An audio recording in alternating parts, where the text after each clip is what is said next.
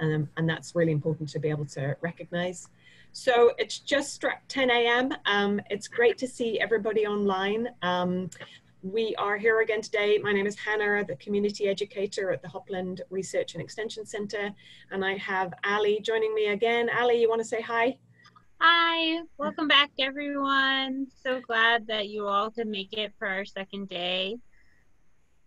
So um, yeah, we're actually going to be able to turn today to the um, physics of fire.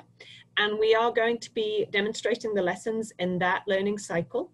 That does involve actually experimenting with fire. So you're going to see us doing that um, remotely a little bit today and thinking about the safety associated with it. We're also very lucky that we're going to be joined um, by Dr. Kate Wilkin, who is the assistant professor of fire ecology at San Jose State University. And she was also the original, she's waving there, hey Kate, she was also the original kind of inspiration and PI for this grant, Ali and um, Kate particularly. Um, and so she's played a crucial role in education around fire um, uh, throughout throughout the time I've been working here, and I know before that as well. So, Kate, we'll come to you in just a few minutes, but thank you for being here with us today. So before we do move on to that, I do just want to spend a few minutes. Um, this is something I've always done when I am starting to work with students um, on these fire lessons is, oh, thanks, Ali. Uh, before we get started, I'm going to get our poll started. This is just the same as we did the other day. So if you guys wouldn't mind just letting us know how confident you feel teaching your students about fire physics. This really helps us for the grant as well to have a sense of how you might um, have built on your experience after our training today and your learning. Just give you a minute to complete that.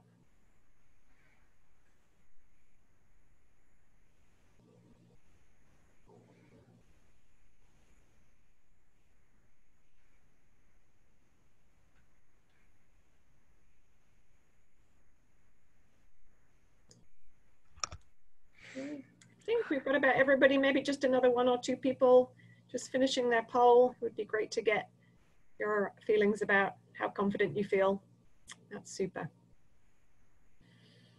Okay, so um, let's have a quick look at what people, okay, I see Mark saying he couldn't see the poll. Mark, I'll connect with you afterwards and we can add your information into the poll. Thank you. Um, so what we're seeing is that people are feeling between somewhat and moderately confident and a few who feel very confident, which is great. And we would love your input as we have our discussion today. I think that's one of the real values of a quite a small class is that we can have some discussion too. Okay. So um, to get us started, what I'd love to do is in the chat, if you could write three words that come to mind for you when you hear the words fire. And it could be any kind of fire. So three things, it might be feelings, might be just words that come to mind. It really doesn't matter. We're, you know, big thinking here. Three things that come to mind for you when you hear the word fire. And if you could just stick those in the chat.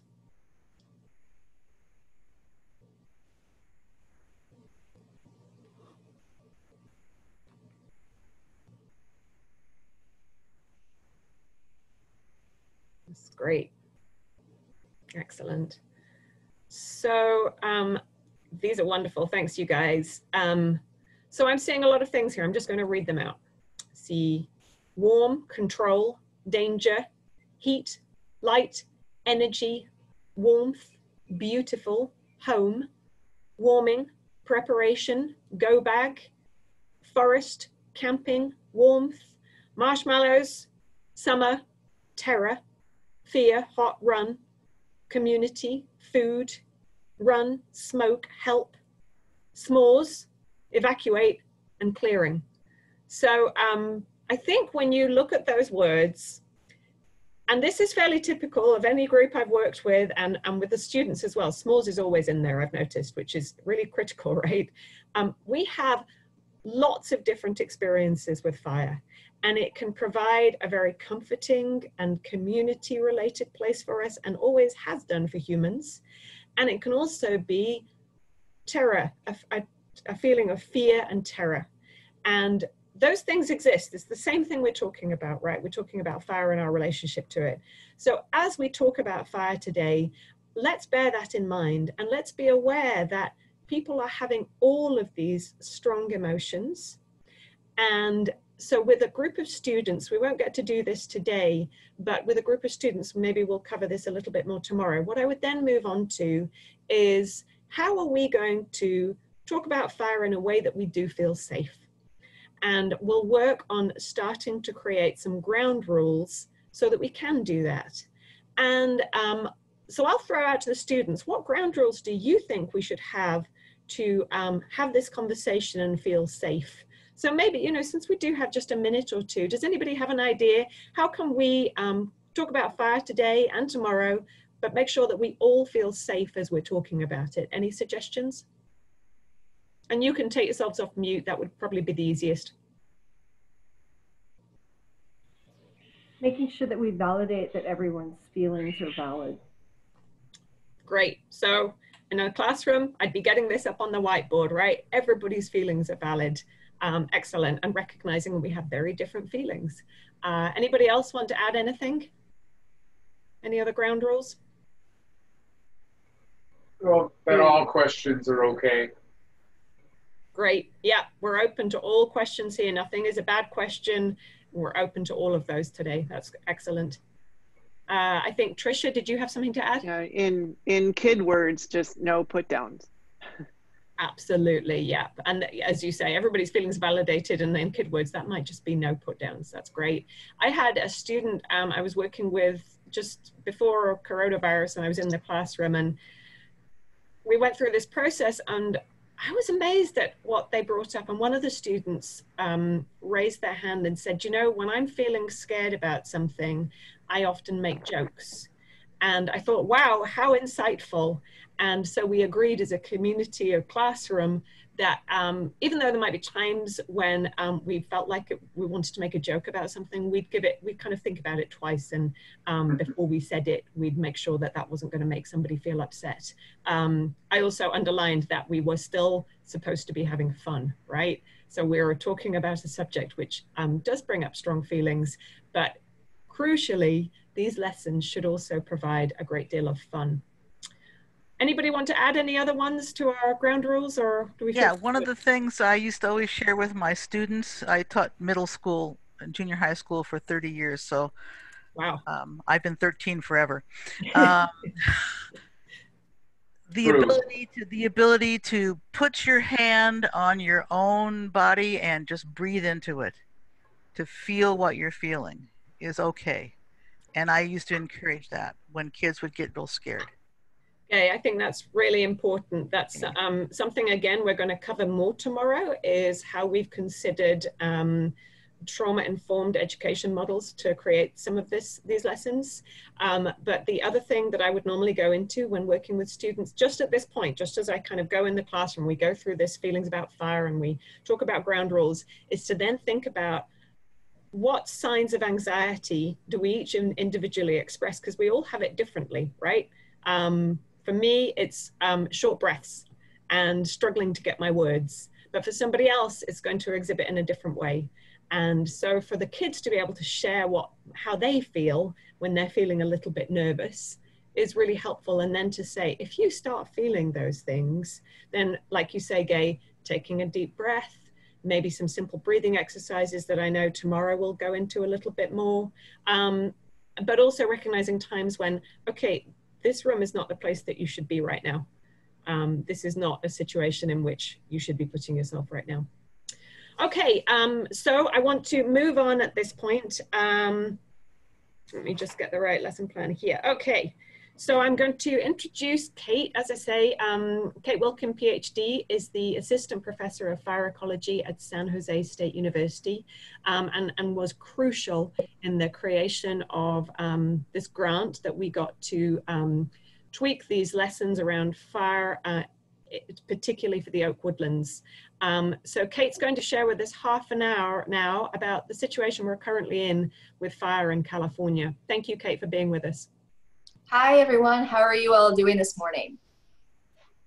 We're all muted. No, we are. Some of us. Oh, maybe we can. um, um, so I'm new to participating with you all in this group, and I would just love to hear um, your your name and where you're calling in from this morning, and also your role in the community where you might use fireworks, just so that I kind of understand where you all are coming from, so I can try to speak more directly to you.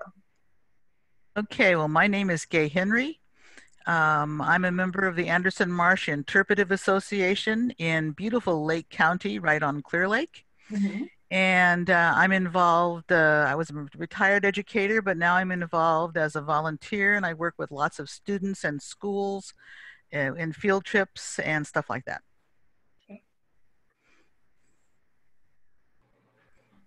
My name is Stephanie Barrett, and I'm in Southern California. Riverside specifically, and I am a 4-H um, program representative. So I have a lot of opportunities to use this with our 4-Hers. Awesome.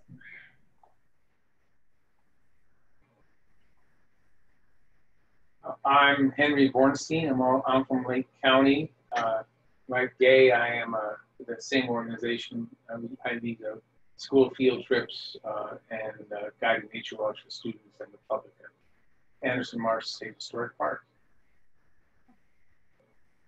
My name's uh, Stephen Baptista, and I am a uh, high school science teacher at Tioga High. It's a small rural high school just north of Yosemite, and I'll be teaching a forestry and natural recourse, resource course this year, and uh, fire science is a large portion of that curriculum. I'm Trisha Dunlap. I work in the same county as Stephen. I'm the STEM consultant for the Tuolumne County uh, Superintendent of Schools office. I'm Meredith DeLucia. I teach sixth grade. Um, this is my first year actually teaching sixth grade science. I'll be doing multiple subject. Um, and I've been to a couple of workshops at HERC about prescribed fire on private land, and I'm trying to be involved in the Mendocino Burn Prescribed Burn Association.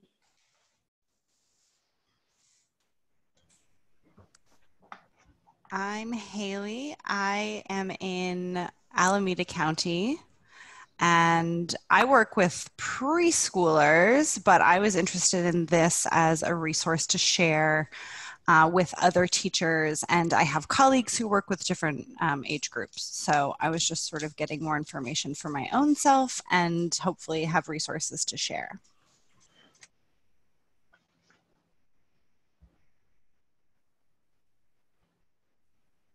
Okay, and I think that's everyone. So so nice to meet you all here this morning. My name Okay. is I'm just going to add, I see a couple of folks in the chat that it might be nice for you to hear from. Sherry Mace is a UC Cooperative Extension in Mariposa. I'm a community educator for fire in Mariposa, Merced, Madera, and Fresno counties. I'm Ramon Billy is the um, Tribal Historic Preservation Officer of the Hopland Band of Pomo Indians, and also was an advisor on um, some of the elements of our grant this time. Uh, and um, Meredith said she couldn't remember if I mentioned I teach in Ukiah Unified. Um, so I just wanted to make sure you got those ones too. Okay, great. Thank you so much. I need to remember um, to pay attention to the chat window. This is kind of a dry run for me. I'm going to be teaching a 200 person lecture online. Um, and so I'm practicing some of my techniques. You all might notice my lighting. Very professional. Totally. Very- I'm also trying to practice um, making eye contact with you through the screen. Good, and you'll probably need a, uh, a chat monitor when you do this. To Right. you. And no, unfortunately, the university won't pres- provide a facilitator even for large lectures. Now you just get somebody that you're into to say, "Hey, do this for me, please." Yeah, I, I think you're correct because it's it's hard to multitask. Oh yeah. Yeah. Anyways, I want to tell you just a little bit about myself. My name is Kate Wilkin, and I first became interested in fire in Florida, um, where I worked for the Nature Conservancy. And I came to California for graduate school, and I went to San Luis Obispo on the Central Coast. I worked in Yosemite for many years um, as a fire effects monitor and botanist. And then I went back to school at Berkeley for my PhD. Um, I went on to work for UC Cooperative Extension as a regional fire advisor, and I just started a new position at San Jose State as an assistant professor of fire ecology. Um, so I've gotten to know different parts of the state and um, really from the lens of fire and plants. And so um, I would really appreciate your patience um, as I might try to use some new techniques to me like trauma informed education. I would really appreciate it. Um, so I was asked to speak today about why do we have such a fire problem in California?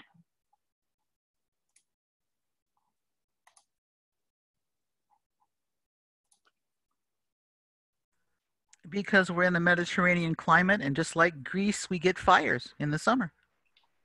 Correct. So that's because it dries out. It dries out, and we get those we get those winds. Mm-hmm. Yeah, and so you know why do we have this fire problem? It's obvious we have this huge fire problem. I think we all feel it on a very personal level, and also on an existential kind of greater California level. And you know, it's one of those especially wicked problems because I think if we could say it was, you know, this or that, I really think that we could solve it. But because it is complex and there are so many factors that go to solving it, it's become a, a wicked problem that's been really difficult for us to solve. So if you all could, um, let's use the chat window again. So why don't you all write down in the chat window why you think we have this problem here in California. If everyone could write a few things down, it would be great.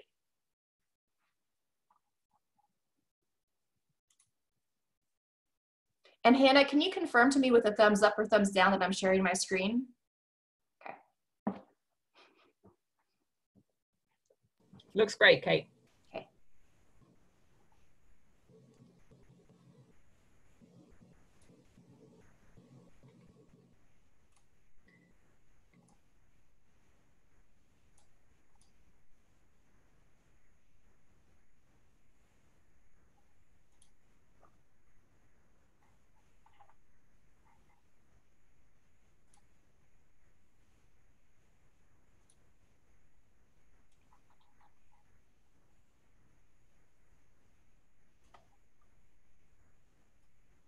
Great. I think everyone has written answers in.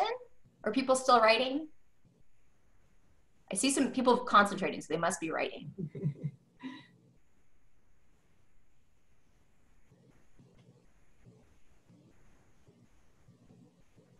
and so I see lots of really great ideas about why we have a fire problem here in California. And honestly, I think that they're, you know, all part of the problem. I'm just going to kind of read them off. Decades of fire suppression, human intervention, fire suppression, ignoring indigenous knowledge, more and more people living in the wildland urban interface, heavy fuel loading in many habitats like forest, chaparral, oak woodlands, and understory fuels, ignorance about land management techniques, disregard for land management practices and traditions, a dry, a dry and changing climate, an illogical, an illogical approach to fire management and climate, the wind blows fires down canyons to the ocean. If the winds don't stop, the fires don't stop, and prolonged drought. And so, what I just learned is you all could be giving this lecture for me. you all are obviously a really um, well educated group of Californians who are, really have a strong grasp of fire here in California. So, how about we'll talk about some of these reasons and the support that we have for them to understand them as a reason why we have such a wicked fire problem here in California.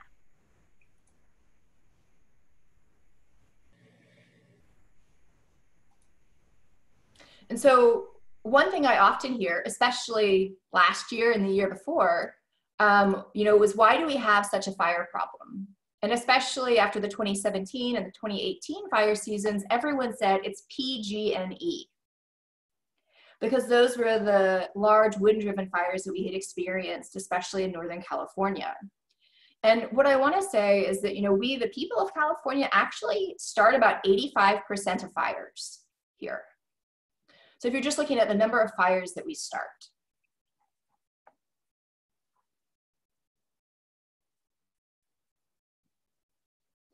And the other thing that I want to share is that the, um, the amount, it's not just the amount of ignitions that we have, but it's also the length of fire season.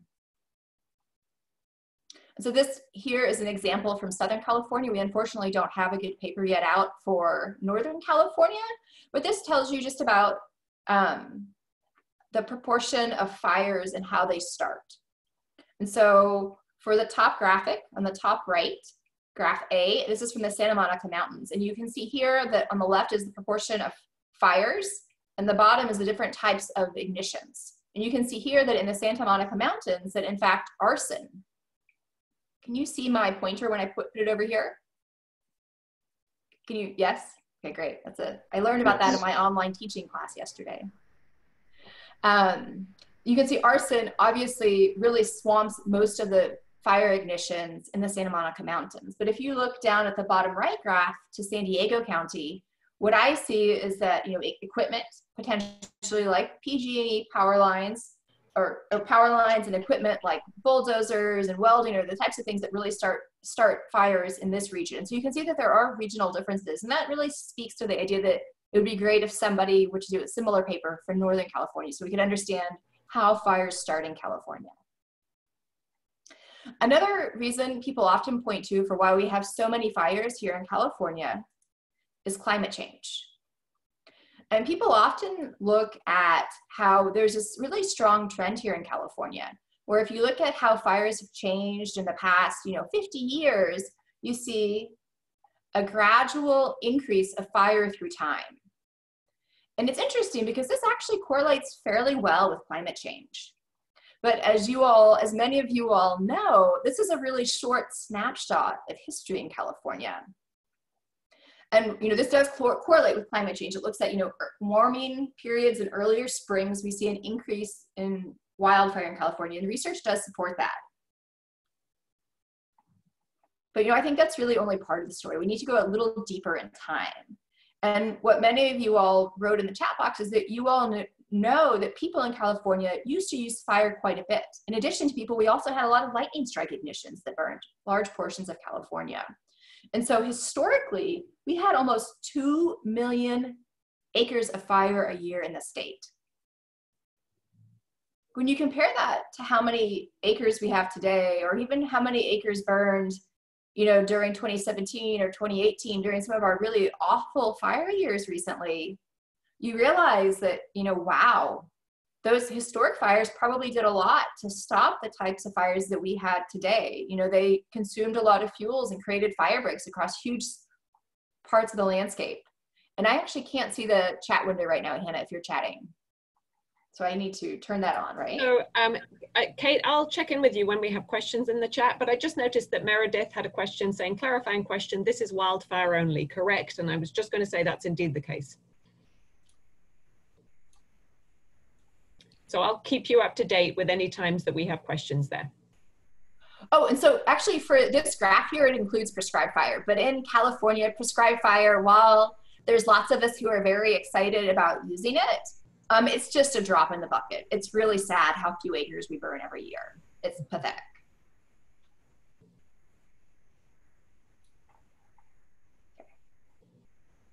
Yeah, and so in 2017, we only had 1.4 million acres burned. So not even close to historic numbers, but it was very different.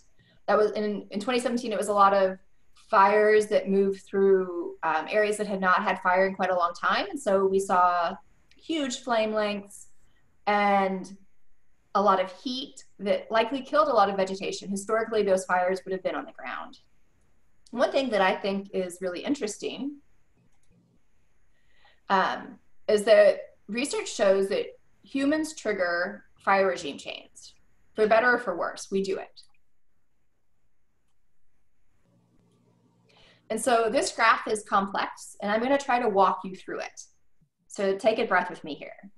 So um, this graph here on the bottom uh, axis across here, you see years. That's the simplest one to explain, so we'll start there. Um, so this is years through time from 1600 all the way to 2000. On the left, left vertical axis is it fire index, which tells you, you know, how much fire activity there is. And those are the two that I really, you know, want to look at with you all um, to begin with. And as we look across this graph from left to right, you see lots of little bars. Do you all see the bars? Okay. And the, that's the level of fire activity in each of those years. And there's a statistical analysis to look at that activity, and that's this red line here. And so what I want you all to recognize is that that through time, fire activity has changed. That's the first um, take home point from this graph. The second take home point from this graph is that we have these distinct time periods. And those are indicated with these black lines here. These are distinct time periods in our fire history where fires acted very differently. So looking at this first time period here, because um, people might be right in the chat window, what time, what do you think is distinct about this first time period from about 1600 until about 1775?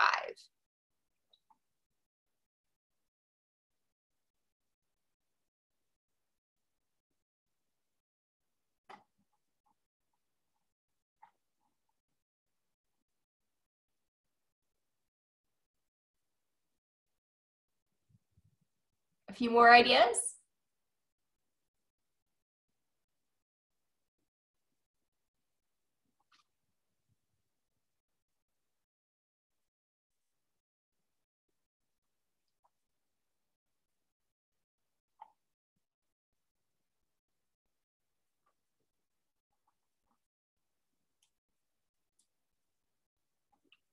Great. And so what we see here um, from 1600 till about 1775 is that really fire in California is likely dominated by um, forces that actually pull um, fire relationship apart from the climate.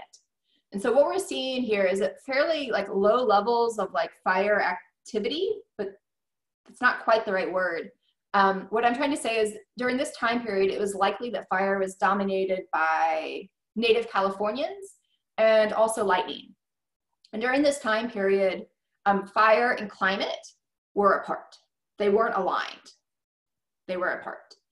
And then for the next time period, from about 1775 until about 1875, we see a change. What happened during this period?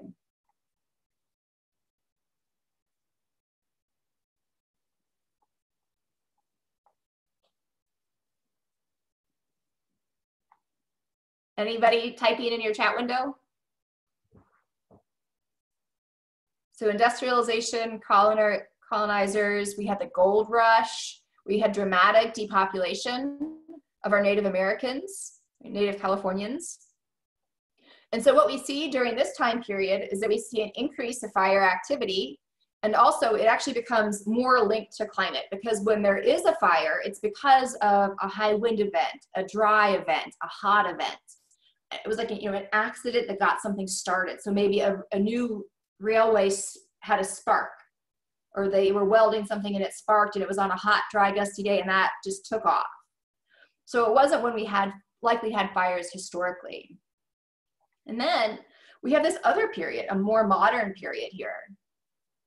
Again where fire activity is lower but also it again it's also decoupled from climate and so what I think is really interesting about this in the more recent time periods, and one of the reasons it's decoupled from climate is that we have so much fuel on the ground, it doesn't matter really what day it gets ignited. We have a tinderbox that's ready to go. And so we've set it up for the perfect disaster. And so that's why today, when you look at fire in California, um, there's very little link between fire activity and climate. And so I always kind of I'm always uncertain. And every fire season, I get calls from reporters and um, people from the fire department get called from, from reporters and say, what is your prediction for this fire season? Based on the weather this winter or this or that. And I always say, it's gonna be awful no matter what. You know, we're in California and we've set ourselves up for disaster. It doesn't matter what the weather is, has been so far. We're, it, we're in an awful place today, no matter what. Um, but but overall, the, the real message I want you all to take from this graph is that, you know, fire has changed in California. Fire has changed in California in relationship to human populations. Humans have buffered the relationship between fire and climate.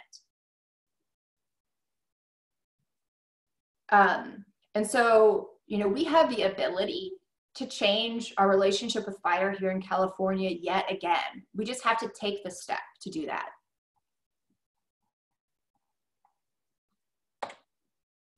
So another reason people often say about why we have such a, a fire problem here in California is land management.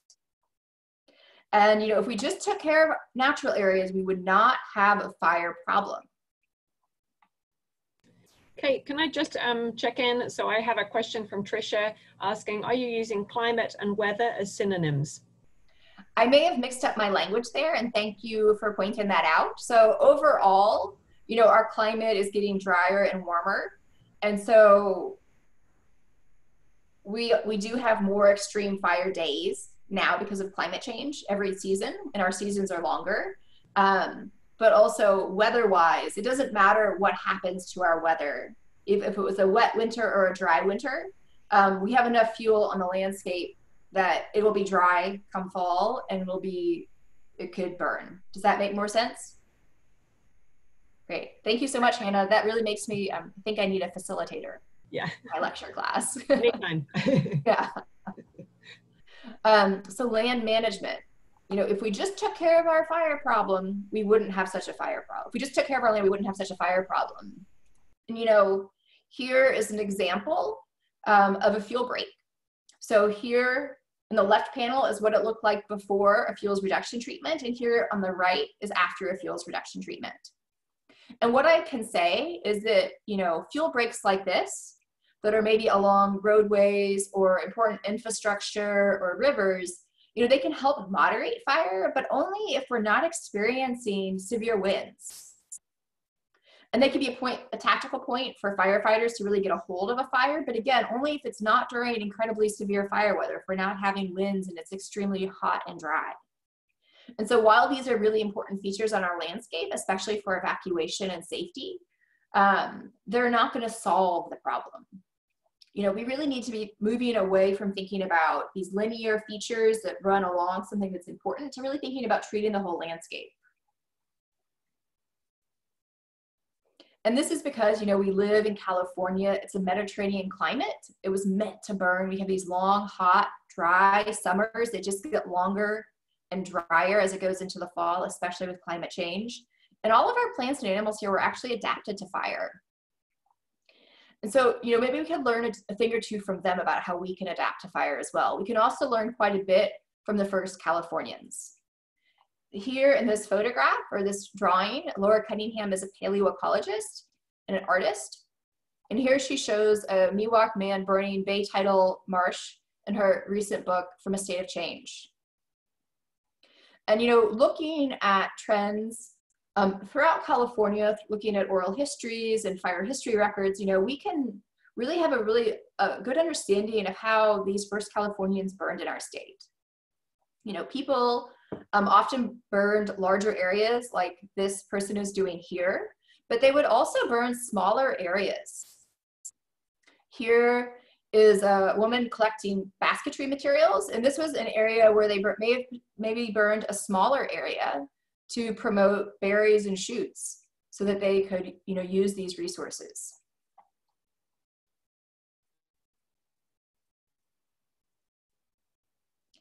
And you know, shoots especially from hazelnut and sourberry, redbud and buckbrush really all provided wonderful basketry materials.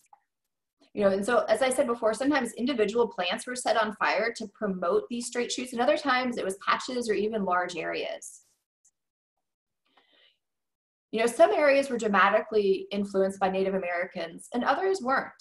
And so here is a drawing of Yosemite Valley in the late 1800s. Um, and looking at Albert Bierstadt's interpretation of this, what I see is an open orchard where I can see wall to wall up and down the valley.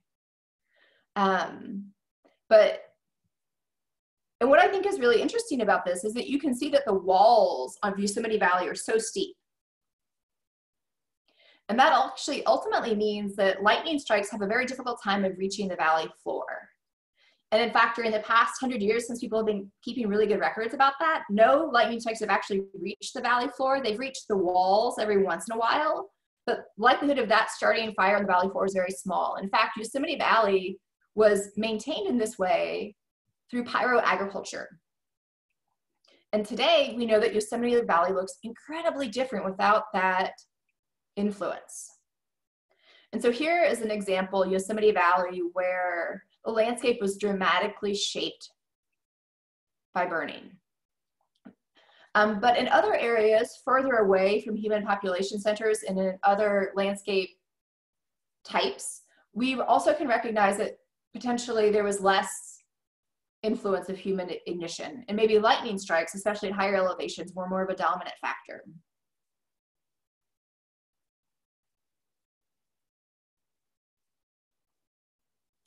And so, you know, looking at Yosemite Valley today, you know, the park and the Yosemite Miwok all recognize that, things needed to change. And so, you know, while this is a picture you may have seen in Yosemite Valley five years ago, they've been working to restore the oak orchards together. And one of the ways that they're doing that is by bringing fire back into the valley. And they're using prescribed fire, and also in other areas of Yosemite, they're using prescribed natural fire. And so here on the left is Harold Biswell. He was one of the first kind of pyromaniacs in California academics. Um, and he's um, working on a prescribed fire here. And you can see, you know, it looks very timid, like I might let my toddler play with it. Um, and this looks very different than a lot of the photographs that we see of fire today. And then it was interesting to me because Harold Biswell here pictured was had the nickname Harry the Torch Biswell because he recognized the importance of fire in our ecosystems and he really tried to speak for them. And he would tell other people about the importance of fire and they laughed at him and he wasn't allowed into faculty meetings. He was people ignored him at Berkeley. Uh, when he would go to Yosemite to speak to the rangers, people threw spitballs at him. They walked out of the room. They really ignored him. But ultimately, um, the students who worked with Harry at Berkeley went on to be really um, thought leaders in the field of land management in California. And they went on to not only guide a lot of the prescribed fire efforts, efforts on public lands, but they also um, helped guide this idea of let it burn or prescribed natural fire, where people allow lightning strike fires to burn in more wilderness areas. Quick question.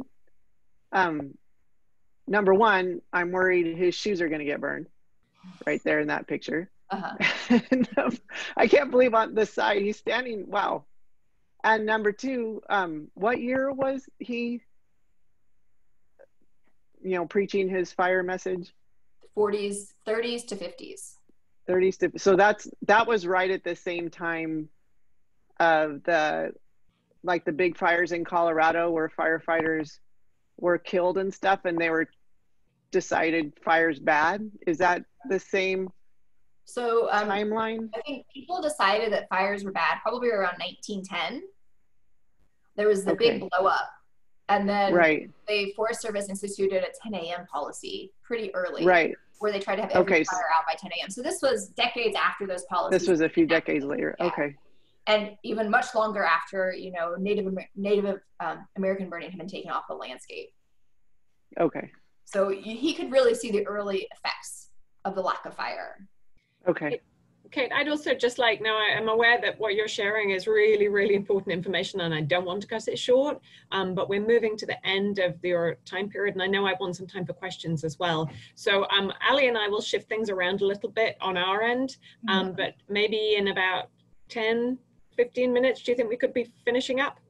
Thank you for the time check. I appreciate that. Um, and so ultimately, you know, Harry Biswell recognized that fire is this really important ecological concept, that it consumes vegetation and recycles nutrients. It selects for different adaptations, like seeds that can only germinate after fire, whether because the fire breaks the seed coat and allows them to mechanically come out of the seed, or because the, the fires leave bare mineral soil and that's what the seeds need. Fires also alter community composition and assembly. You may have heard of pioneer species that are very common after fire. And it also can alter and create biomes. And so, you know, there's a lot of thought that C4 grasslands actually started because of fires, because fires ate away at the forest and allowed these C4 grasslands to become common.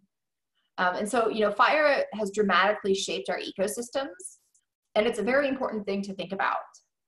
However, you know this idea that plants need fire and you know without fire it's going to be awful um, this idea can actually really be overplayed because it, it's about the specific fire regimes, the type, how frequently you had fire and the type of fire you had.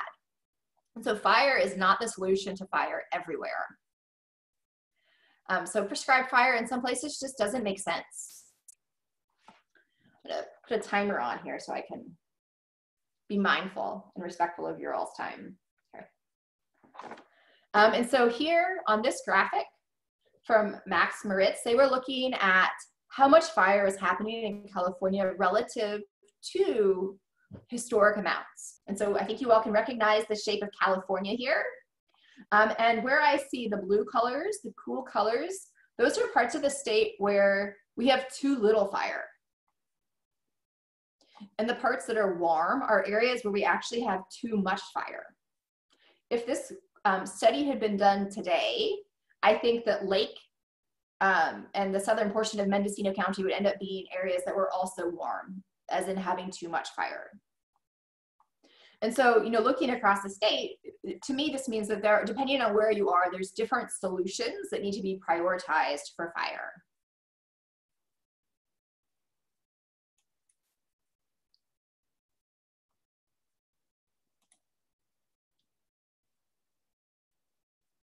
And so just, you know, speaking to some of these areas that may have had like too much fire, and one of the areas that we work in and we're talking about today are oak woodlands. And oak woodlands are a system that's interesting to me because while they could have had very, um, a wide variety of fire frequencies, um, we know that grass grows back every year, sometimes after a fire, um, sometimes even within a week. And so just thinking that, you know, grass grows back and it can burn every year, but just because grass in our native California oak woodlands has that adaptation, it doesn't mean that that was the fire frequency of this fire regime. And that's something that you all will um, really try to tease apart in, a, in another lesson. What was the fire regime of these oak woodlands? And so thinking about, you know, fire in California, um, you know, the, I think the use of prescribed fire is incredibly important. And through my work with University of California, you know, I've led a number of grants about using prescribed fire on private lands, and I'm continuing that research and work today at San Jose State. But I also recognize that prescribed fire isn't necessarily important everywhere. And I see a question here that there's also a lot of non-native grasses that burn differently, correct.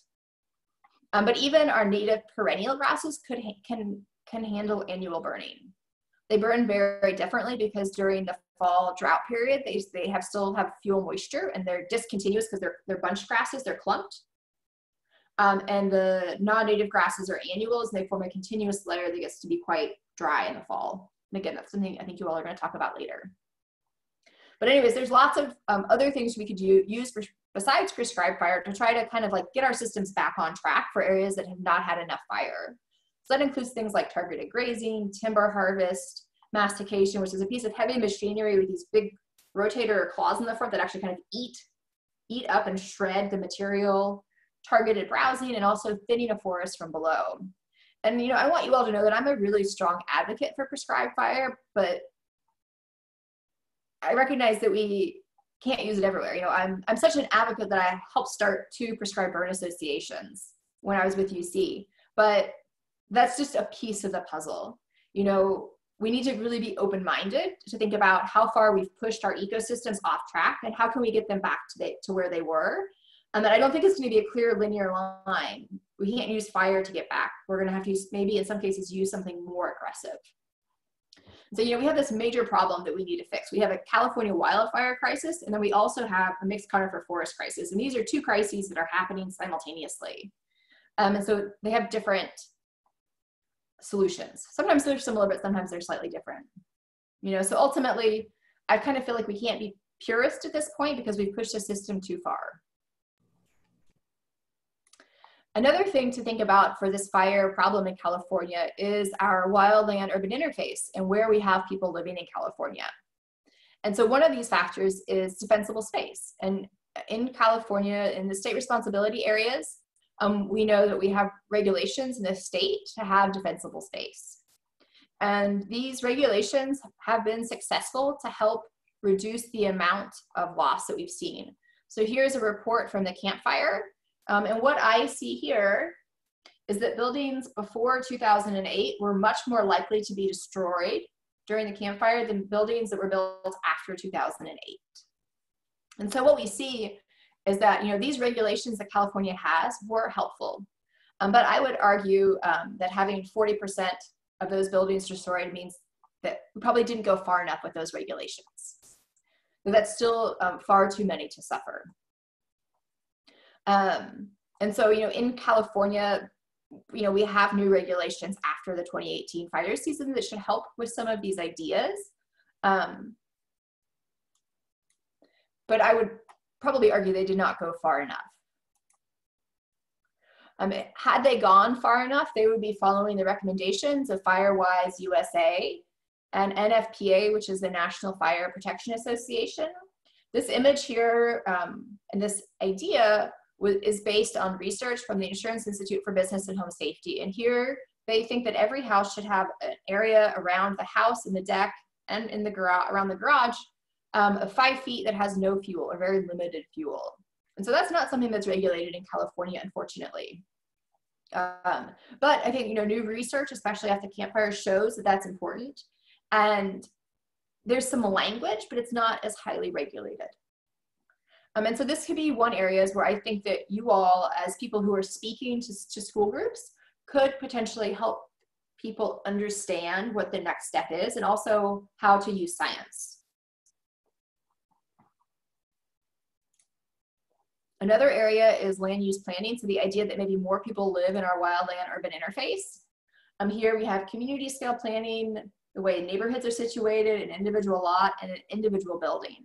So these are all the different ways that we could try to regulate home loss or the reduction of home loss. So one, individual buildings would be following the latest scientific recommendations and improving our California regulations. For an individual lot, it might be um, the defensible space and how it's situated on that lot to give it more of a setback from a steep hill. For a neighborhood, um, it would be about having a road surrounding the neighborhood and green space so that the neighborhood could have its own fire break, both for evacuation and also to reduce the amount of structure loss. And then finally at the community scale, where you might consider having agricultural areas surrounding urban areas. So here's an example, an example of the individual lot scale, where here the house, had the house been right here on this steep hill, um, which is where I had purchased a house um, because of the beautiful view, um, you know, this is where the flame lengths are really quite long. But if the house is set back 30 or 100 feet, what we see is that it, the, those flames don't come as close to the house and it's much more protected. Another idea that can be incorporated into land use planning are these ideas, you know, where do you go in the last resort when you cannot evacuate? And so in Butte County, they understood that they had these horrible winds. Those Jarbo Gap winds are intense and they're always going to be intense. And they've been intense before and they've caused horrible fires and people had trouble evacuating. Um, and so they had actually had a wildfire safety zone where people could assemble. And I, my timer went off, Hannah, so I'm aware that I need to wrap up. Um, and so here, people assembled during the Camp Fire. They had done it before, and they were protected by firefighters um, as they kind of shuffled around the, the margins of the meadow that had been reinforced, I guess you could say, or they'd done more fuels treatments around to help make it safer for people. And so that's something that could be in every neighborhood. You know, firefighters are not supposed to be anywhere on a fire where they don't have a safety zone. So it makes sense to me that you wouldn't have your family sleep anywhere where they don't have a safety zone. If a firefighter shouldn't do it, then neither should your family. Um, and you know, there are other places in California where this is more common, like Rancho Santa Fe, and we can share some more information from you all. So ultimately, what I want to say to you all today is that there's many ways and many reasons that we have a fire problem in California. It's wicked. We know it deals with land management. It deals with climate change. It deals with land use planning and codes, and probably more things that I haven't even talked about, um, because I'm sure that there's more that I don't understand yet. And so you know, there's lots of reasons here and it's a hard problem to solve but ultimately i think that you know every californian needs to work on these solutions and that's actually one of the reasons i'm really committed to fireworks is that i think every native everybody who lives in california every california resident you know, should understand our fire problem and they should be able to integrate solutions into their profession because until we do that, we're not going to solve this problem. It's going to be here. Um, and so I think we really all need to work together across all types of professions here in California. It shouldn't just stay with a fire ecologist at a university. Everyone needs to be working with these issues across California. Okay, thank you so much. Um, and I know um, with all that you've shared just now that there were bound to be questions in people's heads. So my suggestion is, knowing that we need to keep moving a little bit, maybe we could take two questions quickly now. And then, um, Kate, is there a way that people could follow up with you if they had further questions? Um, yeah, I guess one question I have for you all, I don't know if you all have a lunch break. Maybe I could call back on because it might be easier for me to answer questions in Zoom than in email. Okay.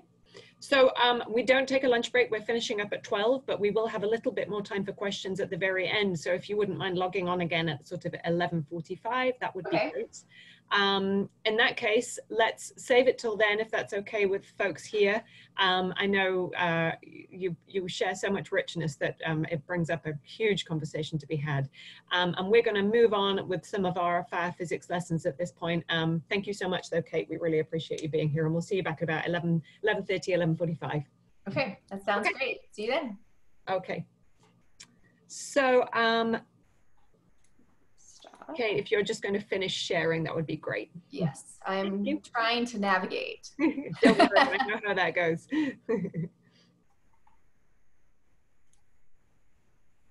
Great, thank you so much. So um, I'm going to shift gears very slightly. Um, I'm sure something that might be on all of your minds right now is with all that Kate has just shared with us, how on earth do we have the confidence to be working with fire and students, right? How do we couple these two things? So um, before Ali gets into some of the practical demonstration of the lessons, I just want to run through quickly some of the safety rules that we have in place um, and the ways that we manage to um, work with the students and feel really confident about it. Um, hoping everybody can see my screen. Somebody want to give me a thumbs up just to, great. I see Stephen, thank you so much. Okay. So first of all, um, really crucial to know your audience, right? And I know that that's different depending on where you are. If you are um, working with these students regularly, if it's your classroom, you have a good sense of who's in the class with you. If you're doing a field visit with a school, make sure you check in with the teacher in advance. Make sure they know what you're expecting of the students, um, and then discuss with them ways that you might be able to handle if there were some students that might be um, particularly affected by this topic. Um, and then also make sure that you recognize that different ages are going to have um, different capacities to be able to do some of these hands-on practical lessons. Of course, we're focusing on middle school now, but there are lessons from um, early elementary all the way through high school. So look at the age group that you're working with and assess um, how they're going to be able to work with these, this, this models. Um, one thing I found that works really well is you give the students the information they need to be safe, and we will talk about that in just a minute. And then they become the safety officers. And I can't tell you how many times students have told me, hey, you need to put your safety glasses on as I'm just about to light a model. Or, you know, you need to get your hair back. And it's because they've got the information. And often I'll say to them, who's going to be my safety officer? And frequently I need that check. We all do. So um, that really gives them that capacity of like, oh yeah, I am part of, I am responsible in doing this. And I think that's the other part that I've really seen as well is that we start with lessons where we're just talking about burning one match and we're doing that very gradually and we're thinking about safety there too. Only when we've seen that students can operate with one match safely, would we even think about then transferring that to a model like Ali will show us in a minute with, with more matches and more capacity for risk. So um, you're going to be gaining that and you can share that with the students that you're going to be looking out for how they have um, been acting responsibly, how safe they've been. And if you see that safety model, then you're going to be able to show them these other cool lessons. Otherwise, you'll just be demonstrating. Okay, so any ideas, if you guys wouldn't mind taking yourselves off mute, that would be great. Um, any ideas on how we would stay safe if we were doing, for example, a model a bit like this? Um, what would be some of the key safety features? And you might see some in this picture. Uh, fire extinguisher. Yeah, absolutely. Fire extinguisher, really crucial. Um, make sure it's right next to you. One thing I've also learned with students is this is a great time to check in whether they know how to use a fire extinguisher. And frequently, 80% or so don't. And they just need to get the chance to see where that little key is that you have to pull out and then understand that you'd be directing it toward the fire and you'd make sure the nozzle's there. So this is a great opportunity to just show them, um, guide them through that. Anything else? Well, water, some water source. Yeah, so I normally keep um, a bucket of water nearby, um, or if it's just a really small model, just a little, you know, um, a pan of water. Um, that's really helpful. We also have spray bottles. Ali will show us in a minute. So that can help really keep things under control. Anything else? Well, seeing this outside makes me think that I just want to have a, a hose with a nozzle that I can just turn on.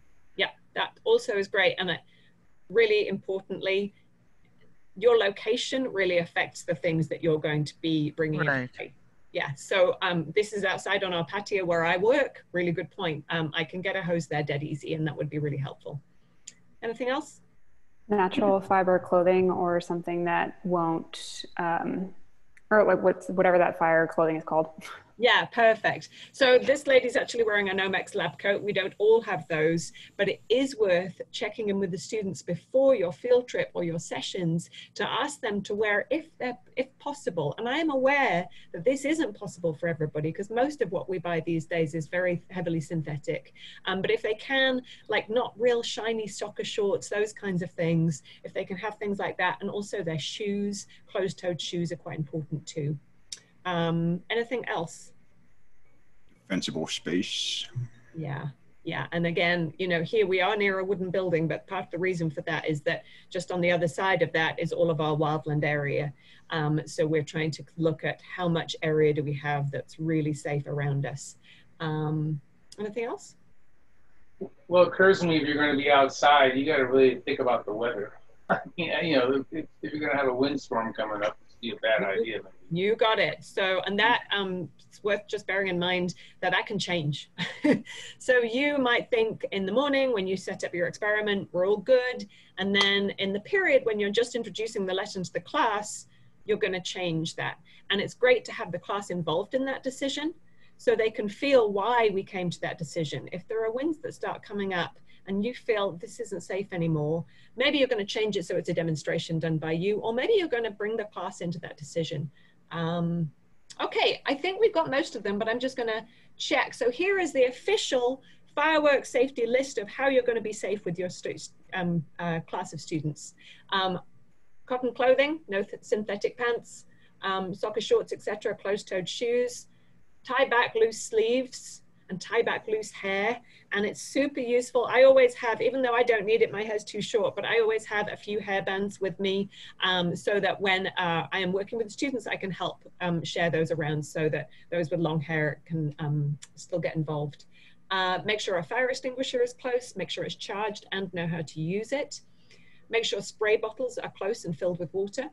Wear safety goggles. So as I say, most often the students remind me on that one. That's the one I'm most likely to forget setting up glasses or safety goggles, that just helps make sure that your eyes that are very sensitive are really well protected. Never, this is a really hard one, never lean over a fire. And it's another one that students have caught me out on because in the moment, it's so easy, right? Just to be leaning over to get to the um, part of the model that you want to show them. So never lean over a fire. That's a really risky thing, especially when you've got like flappy clothing that could easily just catch. Um, Always make sure that your burned materials are fully extinguished with water before putting them in the trash. So um, often that's how fires can be started in trash cans because somebody put something in that was not fully extinguished. So students really need to be aware that um, if there is any smoke or heat coming from the fuel, it could still be an ignition source. It could still start a fire. So not just when you see flames. And then of course, if a fire starts on you, stop drop and roll. And last but certainly not least, very important to share with students that whilst we're modeling these things in the class in a safe setting today, this is not something that you will go home and do by yourself as a practice. They're great and exciting lessons, but you must never do them unless you have consent, consent to do it from an adult and to do it with an adult. Um, so that's really important to uh, stress. I've never had a time when that has been the case, but I think it's a, um, a concern and a, a, valid one that we just want to make sure we share that. So, Hannah, I have a question about make know how to use the fire extinguisher. My experience is showing some a child, especially, how to use a fire extinguisher doesn't mean anything until they try to use it the first time. Go, oh my God, and it goes flying into the air because they just that's, don't. You that's know, true. So and how far do we go? You know. So I think if you can, um, th that's a whole other lesson, I would say. It's hard to fit it into one of these lessons because it's going to take time. But if you can work with your local fire department, that's the kind of thing that they can specialize in, and they maybe would come out and um, practice with you. Um, and that would be a great way for the students to learn or to be working with a classroom. So I think that's a really good point, though, Henry. It's just that kind of thing, right? You need to have had the kind of muscle memory of how it felt the first time you did it safely before you could feel really confident in doing it and when you were nervous and stressed. And so, just a thought, all districts in California are their teachers are supposed to be trained in that. Um, not that they all are, but that they're supposed to. So you can always kind of give that to the adult in the room. Right. If, yeah. You know, anyways, just a that's, thought. That's really useful um, feedback. Thanks, Tricia. So um, I, I, know we need to keep moving fairly quickly. So I have three layouts now for the model that um, Ali's about to show us, the burn boards. You don't need to understand it fully right now, but the sense is that they are modeling a forest. I think you watched some videos of this as well. But I have these three trays laid out in slightly different ways to work with different age groups. Um, does anybody want to give me, so this is a kind of spot the difference. does anybody want to give me um, one thing that you see that's different between these three models? Hmm. One of them doesn't have matches. That's right. Very important. So one doesn't have matches at all. The students could still. And that's the one for the middle school boys, right? exactly. I have to say exactly. I've been learning. third, third, third graders Very also. Third grade boys too. The, uh, I think, I the think middle one doesn't have a uh, strike pad exactly perfect. Right. So they could still be moving the matches around, but they don't have the capacity to actually be able to start that. That's still something that we're going to come and help with. Um, the first one, you know, it's important to recognize they still could move those matches around. There's still quite a lot they can do, um, but they're not going to be able to strike any matches. Um, and let's see the third model as well. Um, so the third model, they have everything. Um, they also even have these little cotton wool balls which they could use as extra fuel. And Ali will probably be showing us that in a minute. So there are different ways that you can um, switch up the experiment that we're about to see um, to make sure that you feel safe. And that goes for pretty much all of these um, fire physics experiments. Okay. So we've already really touched on this, but very quickly, do take into consideration your location. This is my work. it's great fire country. We had a large fire here in 2018 that um, burned about two thirds of the site. So I know how it feels to have a fire on your doorstep. Um, and so I'm very cautious about how we um, do these um, uh, experiments here.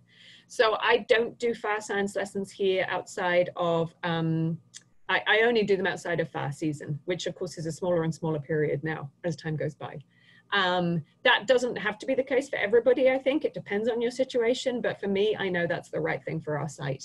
Um, make sure the experiment area is clear and far from grasses and any other flammable areas. Um, concrete's really best. That's what I feel most comfortable with and a big area around me. Um, watch out for lofting. So lofting is just, you know, when you're burning something and sometimes at the campfire you see those little embers going up into the sky. So if you're on a day when there is enough wind for that to start happening, that's probably a day you want to consider whether it's really safe to be conducting your um, experiment.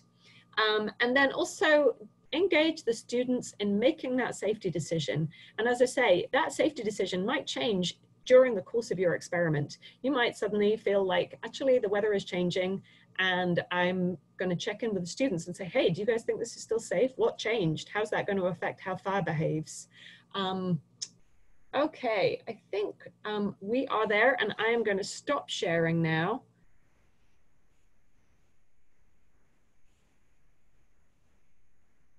And I'm going to cast over to Ali. Ali, are you ready for us? Yeah, so the first thing that we're going to go through is the matchstick burn boards. And we use this lesson as a bit of a sandwich lesson. Um, we use it both at the beginning as kind of an engage to get really kids really excited, and then we also use it again at the end of the lesson series. Um, so the first le- the first time you do it, it's just a teacher demonstration. The idea is to get students um, just familiar with the idea that they're going to be working with fire and to show them like plant the idea of some experiments that they could be um, designing and then also just to get them really excited about the unit. Um, the second lesson it's used at the end of the lesson series to really test what students have learned about the fire triangle test their ability to create and test hypotheses um, so this one is when students can really have free reign to be like, you know what, I want to see how this impacts fire behavior. I want to see how this impacts fire behavior. Um, so you could really arrange the matchstick burn boards in any way. You can also um, use Play-Doh in a pie tin, and then you can mess with the arrangement of the fuels even more, or sand in a some kind of wet sand in a pie tin also. So that way you can get them closer together than with the burn boards. Students can measure things like flame height or severity of the fire, so how many matches burn. They can measure the rate of spread, so the, the time that it took to burn everything divided by the number of matches consumed. They can matter, um, measure total consumption and also intensity of the fire by seeing how close they have to get their hand to feel the heat of the fire, not to burn themselves, but just until they first start to feel that heat. So you all probably know the three things that fire needs to burn, oxygen, heat, and fuel. Um, what do you think are the three things that determine how fires behave? Weather, slope, and there's another part there. Yeah, so weather, topography, and fuel again. So how those things are arranged and how they interact determine how a fire behaves. So we're just going to go through a few um, matchstick burn boards that I have set up. And so I'm gonna put on my safety glasses. I have a cotton shirt on. I'm actually just in my front yard, which uh, is the road, which um, does have some debris on it. So I sprayed everything with water. And so this is a really great way to see how you could do the lessons virtually. Um, if you wanted the students to still be able to make their own hypotheses, you could send them a diagram of the matchstick burn board and they can label what goes in every hole. So there's a lot of different ways that you can kind of do this lesson, even if you're doing virtual learning, distance learning. Um, and so I'll just kind of go through those with you now. Um, I like to start with just, you all can still hear me, right? Yep, we can hear you good. Thanks, Ellie. Um, so I, even though um, you all have seen this basic, this is just the basic uh, one match in every peg. Um, weather is something I can't control. If you were doing this in the classroom, a science classroom under a hood, then you're controlling the weather. But I like to just see how this is gonna burn before I decide how I do everything else.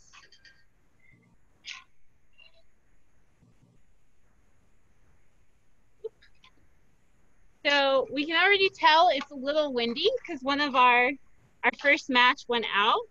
So we know the wind is going to impact our fire behavior today. I might try and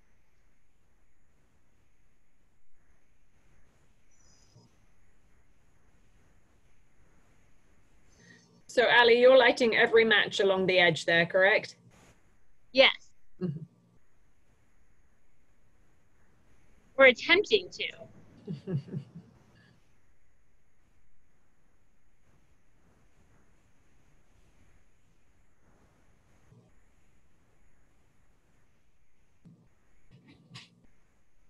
It doesn't look like it's so easy.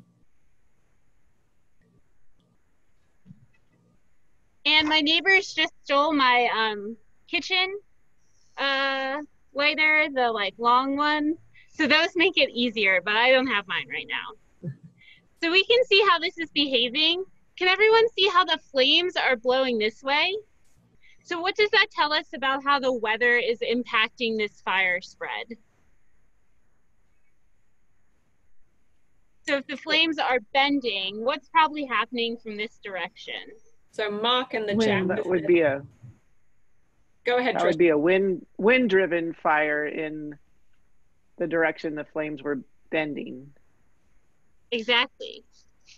So, um, based on that, I can tell that the wind is kind of sometimes gusting pretty high today. So I'm not going to use cotton balls. Cotton balls are something that create a lot of lofting. They do make a very dramatic fire, and they do um, really imitate, uh, you know, like blackberry or grapevines. You can really imitate what that fuel behavior is like with cotton balls. But cotton balls are something that I would use more during the winter um, and definitely not right next to my house in the middle of a neighborhood. Um, so I have a right, few do more... it in someone else's neighborhood instead. Right. exactly, exactly. I have a few more burn boards. And so I have this one. Um, can you all kind of see how it starts low and gets higher? What do you think I was trying to recreate with this burn board? Uh, understory and a canopy for yeah, so the idea of ladder fuels. So I have a perfect ladder that goes from here to here. In addition to having this flat, I can also put it on a slope using the nail. Which would you all rather see? Would you Flat. rather see flat? Okay. Um, see flat first. so before we burn this one, I'm curious if anyone has a hypothesis for what might happen. And you can just feel free to unmute yourself and, and make a, an educated guess. Well, are you having a lightning strike in type or are you lighting the bottom? What are you going to do? I'm gonna light along this edge right here. Okay. Yeah, well, the way the wind was going, I imagine it's all going to go up. Yeah. Okay. That's my sweet theory too. With the with the wind, it'll it'll move up into the canopy. I Yeah. agree. I agree. Cool. So let's let's test it out. I see Mark's added in the chat there, crown fire. He thinks there's going to be a crown fire.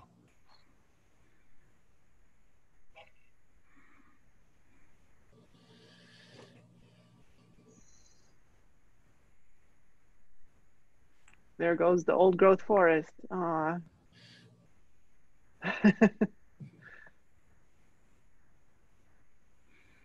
Uh, it could be a pine farm. You don't know. oh, there you go.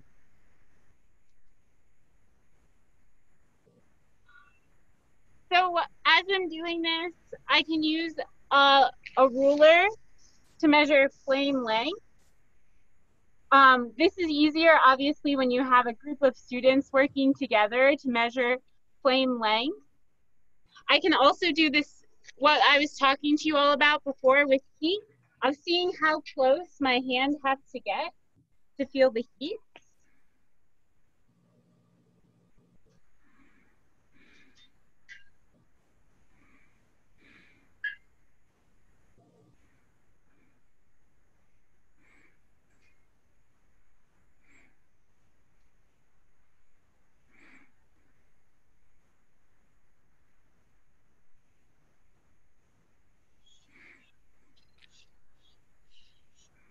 So, what was something you all observed? Something kind of interesting happened there that maybe is a little bit different or maybe similar to what would happen in a real forest fire. Um, so, if these were trees that were a bit thicker, we can see this match, it just burned in the middle, but it didn't reach the top. So we didn't yeah, have quite enough, a good enough ladder. And we can hypothesize that perhaps if this was a forest fire, um, maybe it wouldn't have reached the crown of all the trees. Or maybe the trees wouldn't have fallen over before they burned because they wouldn't be matchsticks. Yeah, yeah, exactly. Um, I'll just do a couple more. And that one especially made me really happy that I had um, doused the ground with fire because we did have one that lit one that fell over. So this one, we can see there's a fuel break. So what do you think? Do you hypothesize that this fuel break might be large enough? Winds, probably not. Okay. I'll, I'll say it might be large enough. I'd go that far. right. Right. I agree with Stephen with the wind that you have, even though it's mild. I think it's gonna. It's not gonna be big enough. I was gonna say it might take a little bit longer to ignite the sort of second set of matches on the other side, depending on the wind. And So would this be a day that you would cancel because of this wind? I, I think. Um, go on, I would still do it. Okay. Yeah, I would just be careful about the fire size. Um, it's still really interesting to see how the wind interacts with the fire. And I will say that using the the lighter is a bit safer. So this is a day that you would be demonstrating and not having the kids do it as well. Um, I've done it on windy days like this with students. How old were they? Out of curiosity. middle school. Okay. And I think it depends a lot on what um, situation you have, because you know if you have a nice safe area, then um, you can feel far more confident. If you um, right. are struggling to have spaces without um, grasses yeah. nearby, that's a challenge. All right, go fire break. So yeah, so that one we had a total weather impact, right? The wind kind of stopped and the fire break then worked. Um, so just a few more ideas, and I'm just gonna speed through because um, Kate went a little bit longer. But just so you know, you can always cut any of the matches to different sizes you can play around with spacing. Um, when I've done the lesson before, I've even had students, um, you know, at the Hopland Rec, I was like, okay, so if we're looking at the landscape, the hillside over there looks different than the hillside over there. Should we build models of the two different hillsides to see how they would behave? You can do a fire, a backing fire, so lighting from the top to see how that behaves as opposed from from the bottom. Um, the matches can represent either trees or shrubs, or they can even represent continuous or bunch grasses. So really you can be as creative um, or um, restricted as possible with this lesson uh, most kids are really interested and curious once they start it, and they want to do a ton of experiments. Mm-hmm. So um, definitely one to like save a bunch of time to do. And like I said, when the students are doing it, it's at the end of the series. So they've already worked with fire. You already know what to expect, and you already can gauge how comfortable you are with them um, doing these experiments. Uh, are there any other questions on this lesson before I hand it back over to Hannah? Yes, Allie, will you tell me what the boards are made of? Yeah, so they're just um, particle board. Um, so just like um, a bunch of wood chips glued together. So they so they could also burn. They're not uh, the fireproof or anything. Um, I have seen them get really hot and they've never burned before. They do get a little bit scorched. Um, but we saw Ali is on it, you know, and I think that's really like an instruction to students. As soon as you feel like things the fire's moving right down and it's moving toward that board then you can be there with the spray bottle. Right. Yeah. So one other challenge to think about is um, like this one i let burn a little bit longer and that's going to equal maybe 10 minutes of work for me to get all these little nubs out of the holes. Um, so definitely have your students clean out the burn boards um, because it is a, a quite right. time intensive right. job. Right. Um, but yeah, they're they're pretty good. So in the curriculum kits, we also include miniature fans. So if you happen to have a really calm day and you want to see wind, then you can use the fan. You have to use it from a little bit away to not blow out. So you can add wind experimentally. You can also add humidity experimentally by lightly misting the board ahead of time. Really um, working with students to remind them that this is more than just fun playing with fire, that we're thinking of hypotheses and testing those hypotheses. It's easy for this lesson to fall into fun playing with fire and I like to still do just one burn board if it's a good day for it with a lot of cotton balls and all the matches and just see like what happens, you know, just because they're curious. Um, but definitely, you know, concentrating on that, like we're going to develop a hypothesis. We're going to think about how we would arrange our matchstick to test it and then um, test it. Stephanie, did you have a question? Yes, when you do use the cotton balls, like, can you show like where do you place them? How do you actually put them on the board? Yeah. So. Okay. Ali, so, it's hard to hear you when you go. Okay, great. We're good now. Yeah. So. So there's a few different ways you could use them. I could use them like a ball like this and just stick it right there. And that's a lot like um, and that would be a lot like a, a bush. I can also unroll the cotton ball. Like this and do like a this type of thing. Like that. And that would remind me more of like a, a grapevine or a blackberry vine or even um, a poison oak vine. Mm. So thinking about how vines could be um, spreaders of fire up up a tree. Yeah, so it's really um, you can use them in different creative ways. And I've had students get even more creative with them. You can tear them apart, but yeah, they do create that lofting. So either doing it first thing in the morning when the humidity is high and the temperatures are low, or during the winter, right after a rain event, or in a huge parking lot. Mm. And when I do this with a big group, I have students whose main job is to follow anything, like follow with their eyes any little lofting pieces so that they could see if that caught anywhere. Mm-hmm. I think it's worth um, noting as well, Ali, that we're looking at um, examples of when it burns really easily. Um, I think you and I have both had times when we've done it in the morning and it's damp enough that the matches just will not light at all. So um, yeah. you can have the opposite problem where you just don't get anything happening. Um, yeah.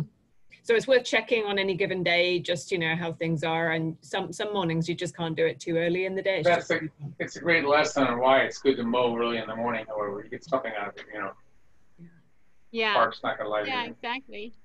Yeah. yeah cool. So i'll hand it back over to hannah and she's going to go over the fire triangle lessons as i um, move some things back in my house No worries. Thanks so much, Ali. So often, um, I know when we do these lessons, what we'll start with is um, having a burn board demonstration like Ali's just shown us with um, the teacher or the educator working with the students so they get to see the burn board. They kind of get excited. Um, it's also a great time when they get excited about the burn boards to go back to your list of um, agreed kind of community care elements of like how we okay we're really excited about this fire now. How is that changing our language? And how are we going to make sure that we continue to check in and make sure we're being um, just cautious about the, how, how excited and how we express that if that makes other people feel worried? Um, i think it's an interesting balance to strike between those two things um, so then um, once you've kind of got them hooked with the um, fire burn board that we've just seen a demonstration, then you would go back to the fire triangle lessons that I'm going to go over, which takes it right back to just one match to get us all feeling confident with just that stage. So bear with me a minute. I'm going to get our screen shared here.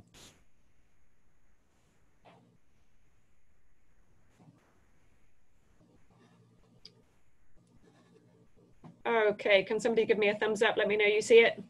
Super, thank you so much, you guys. So um, we are going to be uh, swiftly moving through, there are really three lessons. They could be packed into one lesson by making it into stations and students going around. Um, if uh, you were doing this um, virtually, then obviously you'd have to do them in um, you'd have to do them as demonstrations. Um, and I would say that it's very easy as well. There's so much to talk about with each of these that they could be three independent lessons of 40, 45 minutes um, to be doing. And they're going to be in the increasing the students' understanding of the fire triangle through experimentally removing just in just different parts, those three sides that we talked about. Let's play with each part of it experimentally and understand how that affects the whole triangle. Without one of those sides, the whole triangle falls down. So the first lesson is the heat plume, and that's looking at how heat moves. So again, we are focusing on our fire triangle. You guys have heard me say it enough times, and the students kind of you know, they get to the point where they're like, all right, we know all the fire triangle. You've said it. We've said it six million times. So um, heat, fuel, and the last one is oxygen. But for this experiment, we are mostly playing with heat or experimenting with heat. Fuel does come into it, but the thing we're really considering is heat. And so when we're thinking about heat, what's really important is for us to understand how does heat move? How does it um, get from one place to another? How is it transferred? And of course, there are three main ways in which that's happening. Conduction. Anybody want to tell me another one? Convection convection, and oh, and there's the third one, radiation. Radiation. yeah, perfect. Thank you. Thanks, Meredith. um, so these three things you can actually model with the students before you do the experiment, but there is a crucial element that really helps you to model it, which is often the case, and that's candy. So if you can get a bag of candy in advance or something that you feel comfortable sharing with the students, um, then you can get the students to line up and um, when they're standing in a line to model conduction, um, you're going to give a, an amount of the candy, some of the candy, a bag maybe, of the candy to the beginning of the line. So that heat is at the beginning of the object and it's going to move along the line. So that student is going to pass down the bag of candy down through the line and we're seeing how that candy, the heat, is moving from one student to another by direct contact. Um, for radiation, you are going to keep them in their line and you can sprinkle the candy out, throw carefully to the students a few pieces of candy. And of course, that's um, the heat moving as particles or waves. And so it's only going to transfer its heat once it hits something. Um, so that's how they're getting the candy. And then the last one is convection, which is a little more complicated when you're doing with a group of students like this. You need for them then to imagine that the students at one end of the line are at the bottom, closer to the ground, and the students at the other end of the line are at the top, further away from the ground. And they're thinking about how the atmosphere is a little denser when it's closer, the Earth's gravity is pulling it more tightly to the to Earth. And then as you go up, it's a little um, less dense. So um, the heat, once things get hot, they um, start uh, have enough energy to start moving up and less pressure in that thinner atmosphere as they move up. So you can give the remaining candy, which is probably not much at this point, to um, a couple of students at one end of the line, and they can move up the line. And as they're moving up, they're going to give candy until they've run out, and then that's it. All their heat is dissipated. They can go no further up into the atmosphere. I just have something I want to say Yeah. about candy, having had students before that are diabetic and having done math experiments where we suck on lollipops and measure the circumference. Yes. You really don't want to use candy with sugar. You want to use sugarless candy because that's a real issue for a lot of kids who may not even know they're diabetic or the teacher may not know. And so you don't want you just don't want to expose kids to that. Thank you for bringing that up. I think that's really important. And again, Yeah. you know, often you'll know your students and you'll know if candy is the right thing to use. Hey, Right. Well, you can use candy, but I just found that I had to use sugarless candy or I was looking for big trouble. super. Thank you so much for sharing that, Gay. That's really important. Yeah. Okay, so once you've gone through um, that process with the students, then you're actually going to be um, thinking with them about what things um, can create a fire. So where are the sources of heat that sometimes could start a fire? And I'm not just talking about wildland fire here, any kind of fire. So do you guys, if you can, use the annotate function. So remember last time we tried doing this, normally if you move your cursor up to the top of your screen maybe, you'll see a little thing that flips up and says that you can annotate. You can write into this space here any sources of heat that you know. If you prefer, I'll have a look in the chat and I'll see them there as well. So any things that would be ignition or sources of heat that could start a fire, not just wildland fire.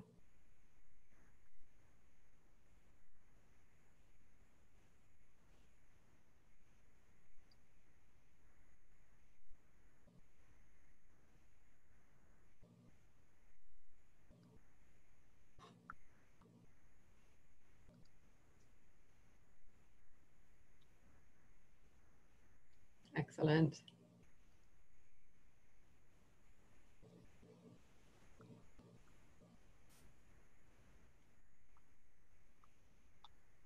Great, thanks you guys. Those are excellent ones. And yeah, it's always exciting to see what students come up with as well. They often come up with all kinds of things.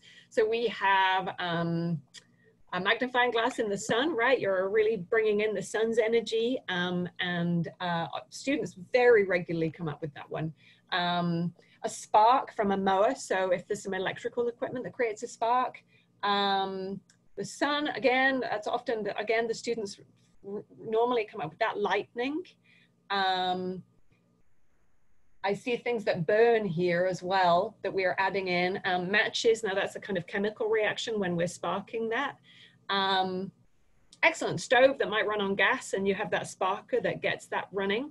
So um, now's a great time to think about, okay, so here's some examples of ways that a fire can start, the heat that starts a fire. Are any of these things that occur naturally? So would occur without humans involved? Can anybody see one on there that maybe is something that uh, Lightning, lightning is on there. Exactly. You got it. That's right. So we have lightning in there. There's one other thing that occurs in nature that could happen without humans involved and could create um, heat to create a fire. Any ideas? Like the magnified sunlight or like a reflection of the sunlight. So that's that's true. I mean, normally we've got something that we're doing that allows so a human's involved there somewhere, but it might happen Um, without that. Yeah. You can get spontaneous combustion on, say, stack leaves and needles that have the right moisture content within them, and that produces know- heat. We, we don't want to forget a volcano too in Lake County. I guess we could have an eruption. Thank you, Henry. Yeah, no, that's a, that, that's the, the other thing I was looking for. I think the other elements are true as well. But volcanoes, right? We have Right. a natural process. Might not be something that we think about too much, but it is natural. So there are all these ways that um, there is heat um, that sometimes is created by humans, as Kate was talking about, and sometimes it's natural in the environment. So before we get doing anything, we've already gone through this. Oh, let me just get my annotation off here so you guys can see a little bit better.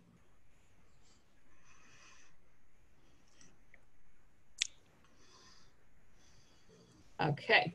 Um, I don't need to go through all of these again, but uh, just worth checking in at this stage with your students, making sure that they remember. Often what I'll do is just check in with them and see if they can remember all of them with me before I put this up again.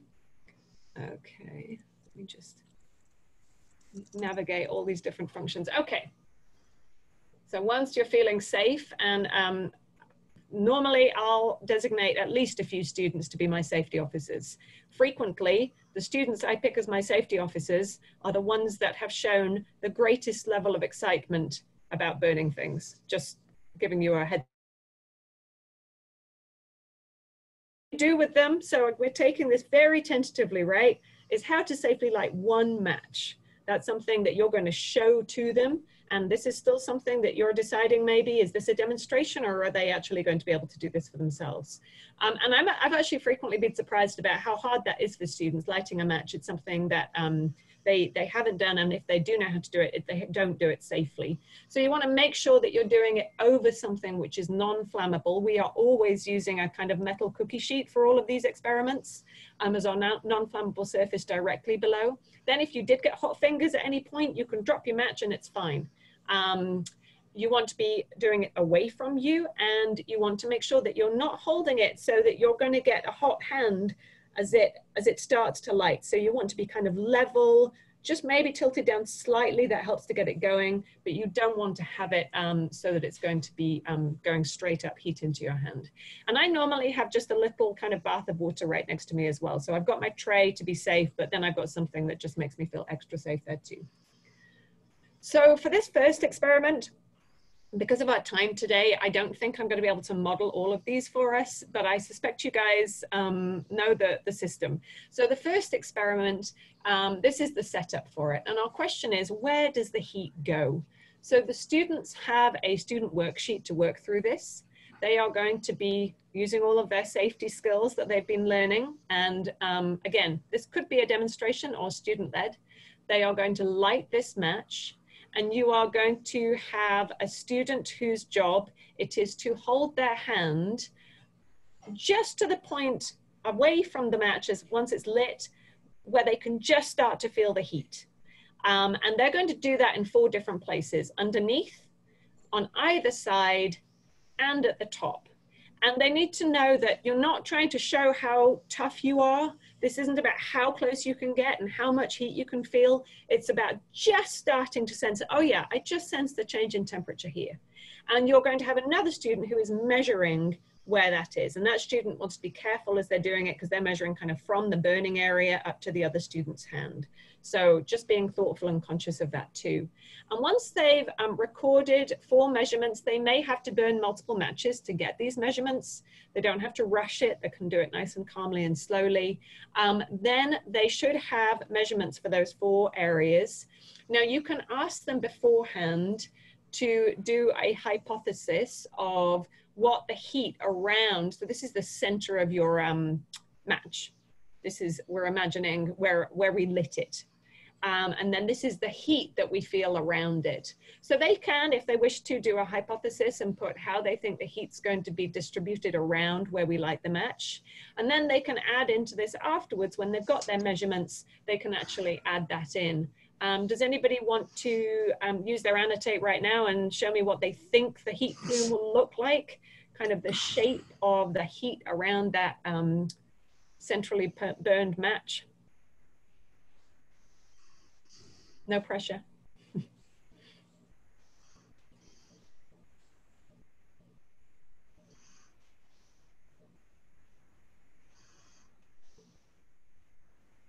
Excellent. So you guys, you guys got it. Um, what we're seeing mostly is that the, uh, the heat's rising from that convection that we talked about. Um, you do have all forms of um, transfer of heat though just in this model. And you can talk further with the students about when the heat is radiant energy. And there is one time when they might recognize um, conduction as well. Does anybody want to tell me, maybe I'm gonna go back a slide, uh, when do you think the students might um, realize that conduction is also a problem for them? Yeah, push the alligator clip. You got it. So once they've mm. completed their experiment, this is, and it's really hot. So that's really important. That's where your um, oven mitt comes into play. They need to know that in advance though. They will learn conduction very quickly if they try to cl clip that clip when the match has just burned on it. Um, okay, so let me just go back and get my annotation off. Sometimes I think these bars move around just to uh, confuse me. okay.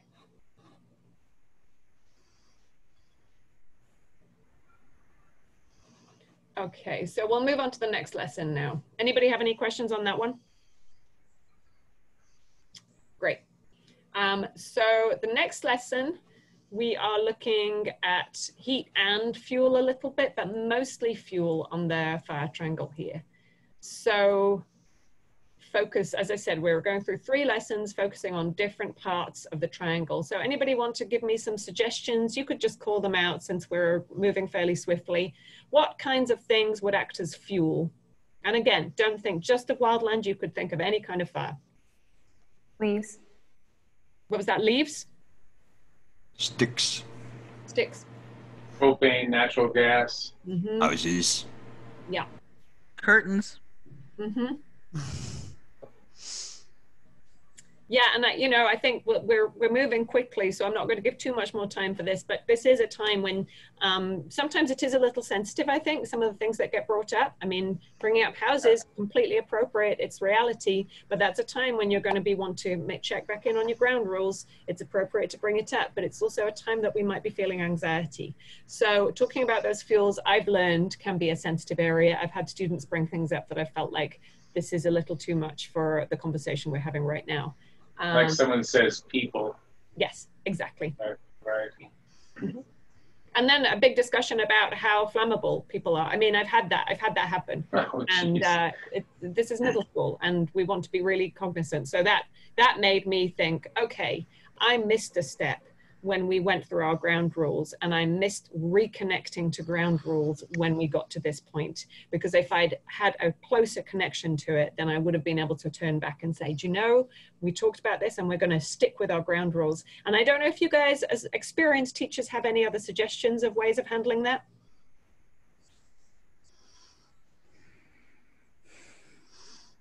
feel free to chip in at any time because I'm very aware that you guys have a lot of experience and I'm happy to happy to hear from it. Um, I tend to, oh, yeah. go ahead. I just would say that I tend to acknowledge and, and kind of like move on from that. Like I, I know that what you said is, is true. That is true, but like, that's also a sensitive topic. Like, let's move on from that.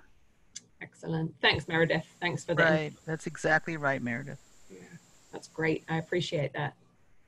Um, Okay, so um, when we're looking at this lesson, we get a little bit more into the chemical equation associated with fire. We are talking about a chemical equation.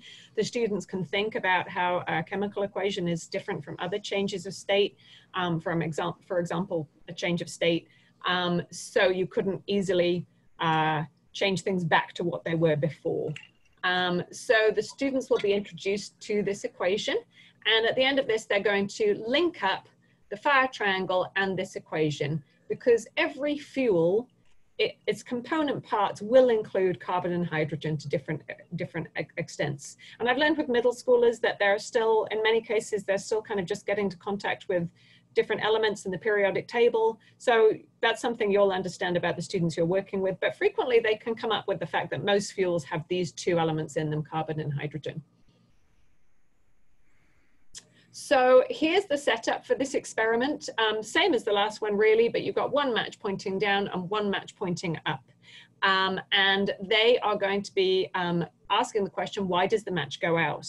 And um, so can you guys imagine which one of these burns, one for the longer time um, and uh, two, so let's see, which one would burn with more heat and which one would burn for the longer time? Anybody want to suggest? I would think the one pointing down would burn with more heat. Mm -hmm. And one, uh, right, one pointing up would probably burn longer.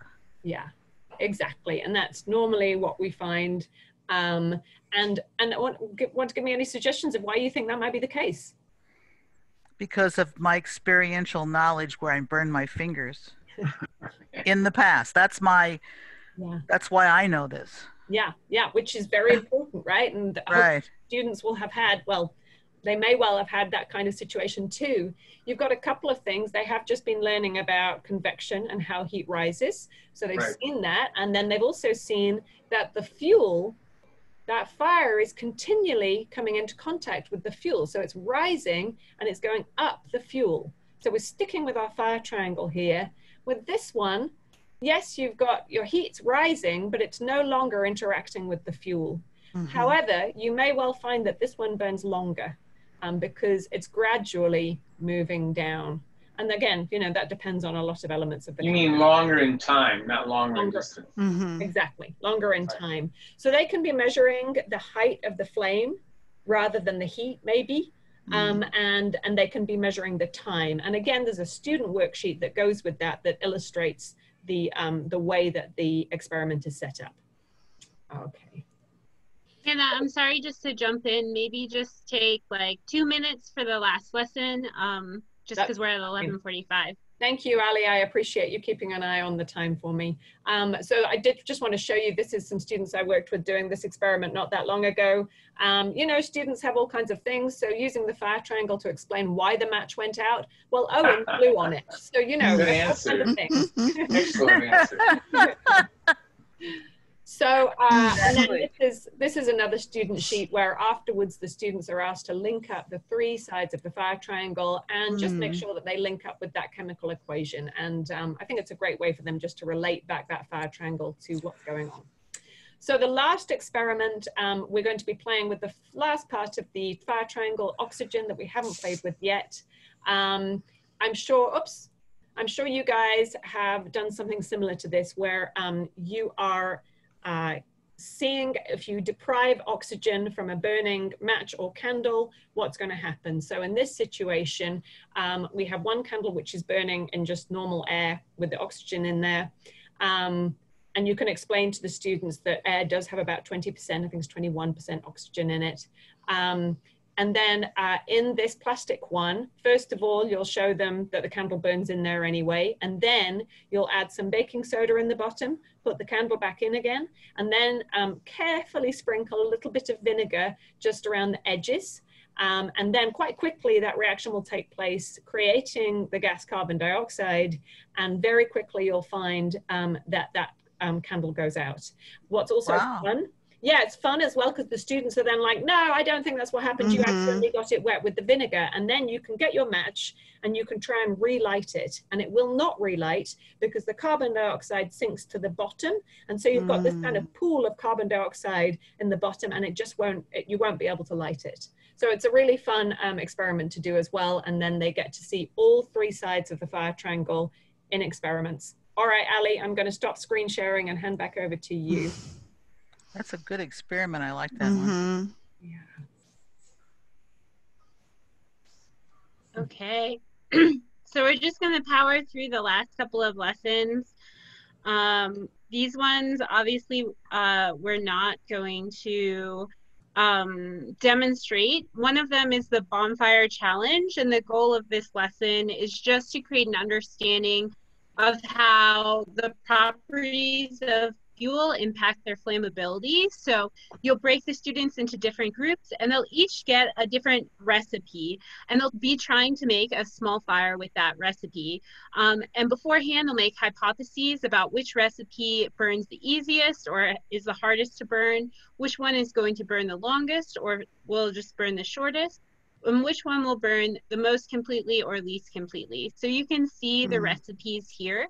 And if you have a really large group or you're really interested in, in examining this more, you could even make more recipes, um, you know, just based on your goals for your students. Um, so here is an example. If we were doing in-person teacher training, this is what you all would look like doing the lessons. um, so these are the four different recipes at work, and you can see one of the recipes was really successful. This is another lesson where you're concerned about lofting of small materials. So you're having someone do a lookout.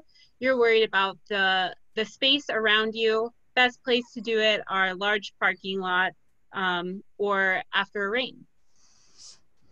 Um, afterwards, there is a description for how to do a Socratic circle um, discussion with your students, thinking about um, fuel moistures, hypotheses, how the different recipes burned.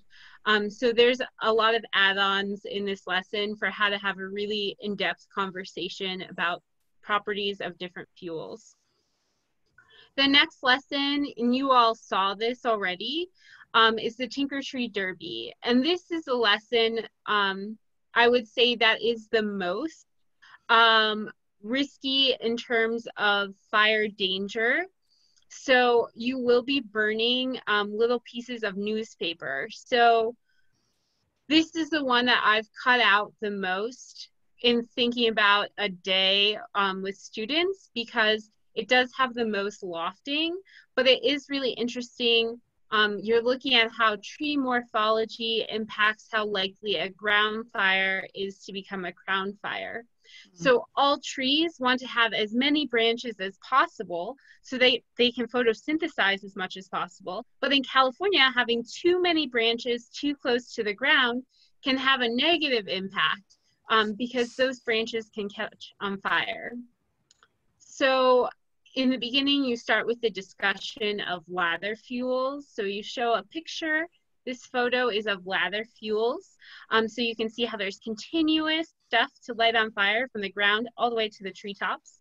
Um, and so this is what the the um, tinker trees look like. And these were made um, especially by some folks at the rec that I work at. So you can make kind of um, makeshift versions of these using chemistry stands, but these ones were made specifically with this in mind and they're included in the curriculum kits. And we'll send you off a list of places where curriculum kits are hosted because you can borrow them at any time um, as long as they're not in use for another thing.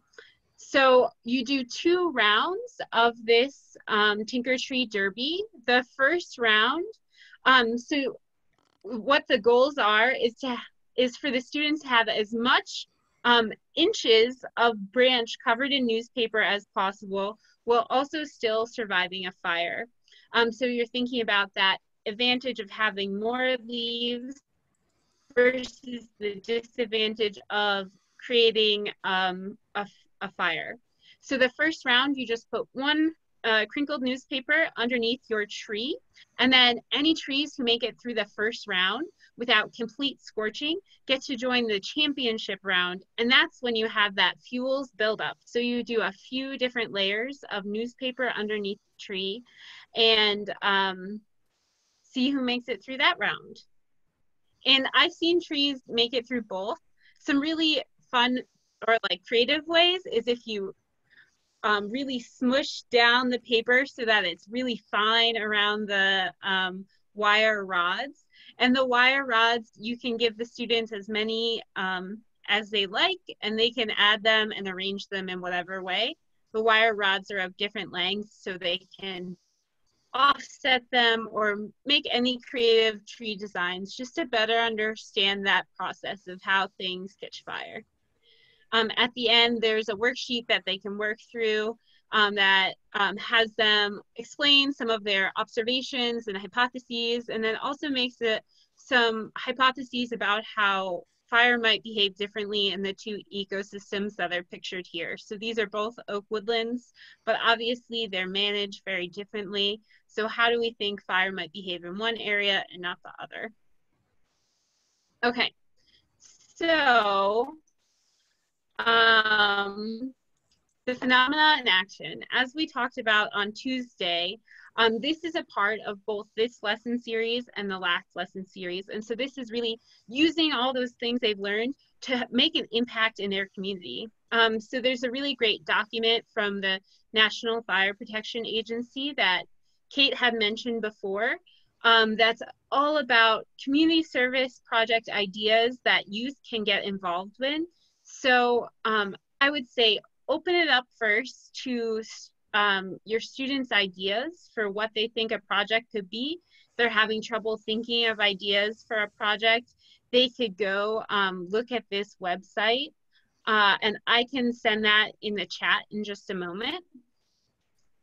Um, if I was to do my project here, these are some of the places I would partner with. Um, if I was to do it out in Lake County, County I might partner with um, you all, Gay and Henry, to think of a, a phenomena and action project. So again, it's that fuels removal project ideas, restoration work, or letters to the editor, talking to your local town council. Um, so it's really as creative as you would like it to be, um, but focusing on getting the students to utilize their the their learning to um, to bring bring that out to the community. So um, I just there's five minutes left, and I don't want to hold anyone. So in the last five minutes, we're going to have time for any questions about any of these lessons, or if you have any more questions for Kate, I'm sure that um, the three of us are happy to stay after. Um, or if you have any more questions about creating a phenomena and action project, um, just want to just give you all some time. I know we've given you a lot of information this two hours. And thanks, Kate, for joining us again. So we're we're we're lucky to be able to have Kate join us again. So um, yeah, let's open it up for questions. But if anybody, and I don't think we'll we'll make any announcement at 12, but we completely understand if you slip out at this point. Um, how many of the kits, like the kits that you're talking about, are available? I know that they might be in use at any time, but like just how many? So then that way, if, for example, myself and Ukiah wanted to work with somebody in Hopland, like they were not occupying the same kit. Yeah, so we, um, through our grant, had funds for 11 kits, and they'll kind of be spaced around Northern California at different cooperative extension offices and at the rec. Um, so in total, there's 11. They might be, you know, a little bit further of a drive. Um, if, you know, two people from um, the Hopland Rec area, you know, someone might have to, we might have to arrange like switching it. Um, and it looks like Mark, um, he says that he has a kit down in Mariposa and Fresno County. So um, the kit just a note about the kits. They include all the fire physics materials. They include um, the natural items for the mystery trees. They also will hopefully um, include most of the natural items for doing the Sierra Nevada version of the mystery trees. And we'll have most of the materials needed to do any lessons that the Sierra Nevada has that our Oak Woodlands doesn't have. So the kits are really um, all encompassing. They're two pretty huge trunks, um, but still of a size that could fit in a normal sedan. So, where are the worksheets themselves? Mm-hmm. Yeah, so all the worksheets um, are in those curriculum. Um, the links that I sent you to the box oh, drive. Great, okay. great. Yeah, and so just a note about those. All of that is still in the draft. We're still getting the final touches of everything together once it's all put together, and I'll just put this website in there now, um, the curriculum will be hosted on the same website as the rest of the fireworks curricula. Um, and that is a frame, it's the frames website for the, um, oops, for fireworks. So I put that in the chat and I can email that to you all. But that's where the ultimate landing page will be. And that will have all of the lessons, all of student worksheets, links okay. to other helpful places, um, especially with um, the changes in teaching that are happening right now. Mm-hmm. We're going to create some links to um, different videos. Hannah and I are hopefully going to make videos of most of the fire physics lessons. So um, if you don't feel like you have the capacity to do them in your front yard, like we just did, then you could just have your students watch YouTube videos of of sets of the experiments. Um, so that will kind of be that main landing page. Another question I have is that when I looked at a lot of the videos, they seem to show a lot of pine trees. And I have to say, we're talking about oak woodlands. So do you have videos or will you have them more about oak woodlands and or chaparral? because that's what we have in Lake County is chaparral and oak woodlands, not so much pines.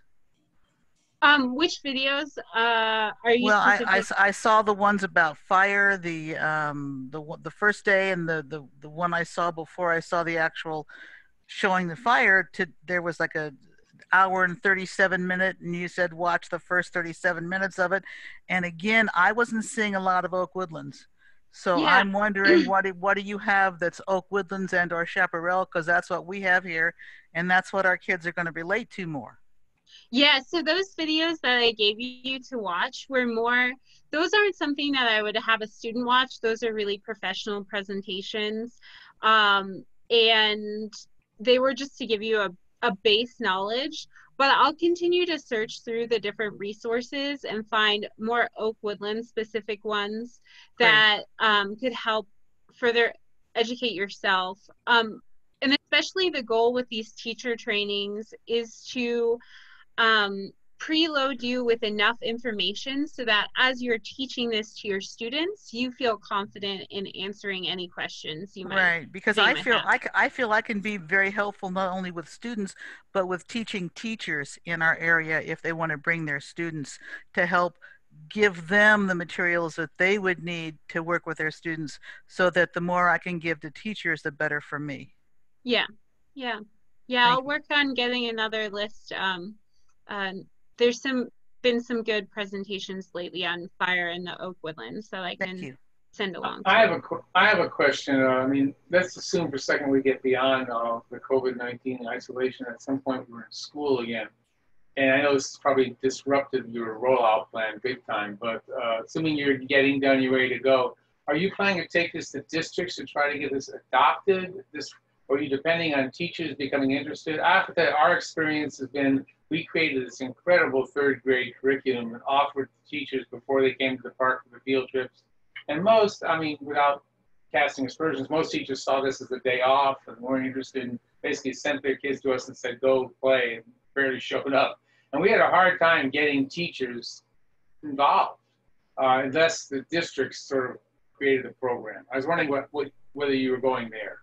So one thing that um, we have been working um, in, in my area with the local county office of education and trying to share information out to the school districts via them. But I think it is very much, I mean, teachers have so much that's preying on their time, right? right? And right. it really depends on the teacher. Um, and so what we've experienced so far, I'm sure Ali will add to this, but um, you know, there are some teachers for whom this is just where they want to be going and um, their interest is peaked from the get-go and they're ready for it. And there are others that kind of need to see a little bit more before they feel like yes i think i'd like to take this on. And then there are some for whom it just isn't going to fit in for their the way that they are working with their class and i think we um, are, can be as respectful as possible with that and um, hope that the more it's shared by individual teachers, the more the message will connect throughout the teachers. If it's successful, my experience is that a good lesson gets shared between teachers.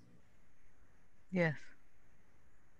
Yeah, and um, just to kind of further expand on that, so our grant period is ending in um, coming this November 1. Mm. Um, our grant will be over. There's other people within UCANR who are taking up the program who um, were kind of specifically hired on through other grants to continue to um, push forward the utilization of the fireworks curriculum and spread it to different areas. Um, so I think it'll be something that's used within UCANR, and um, I know that Kate uh, is also considering making a chaparral version um, as part of uh, some things being done in her new position.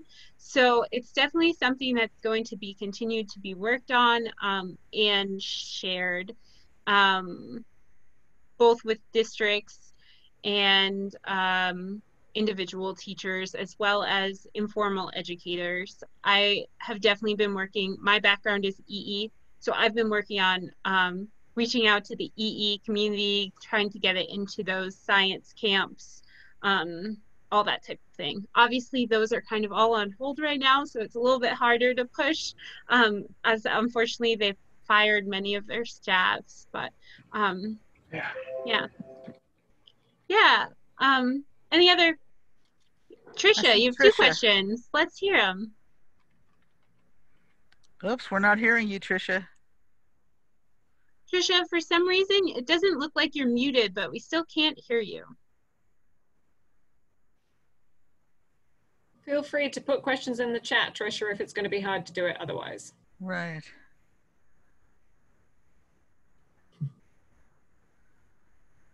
Okay, how's that? Yes. Perfect. Ah, my AirPods died, so I put them to the side.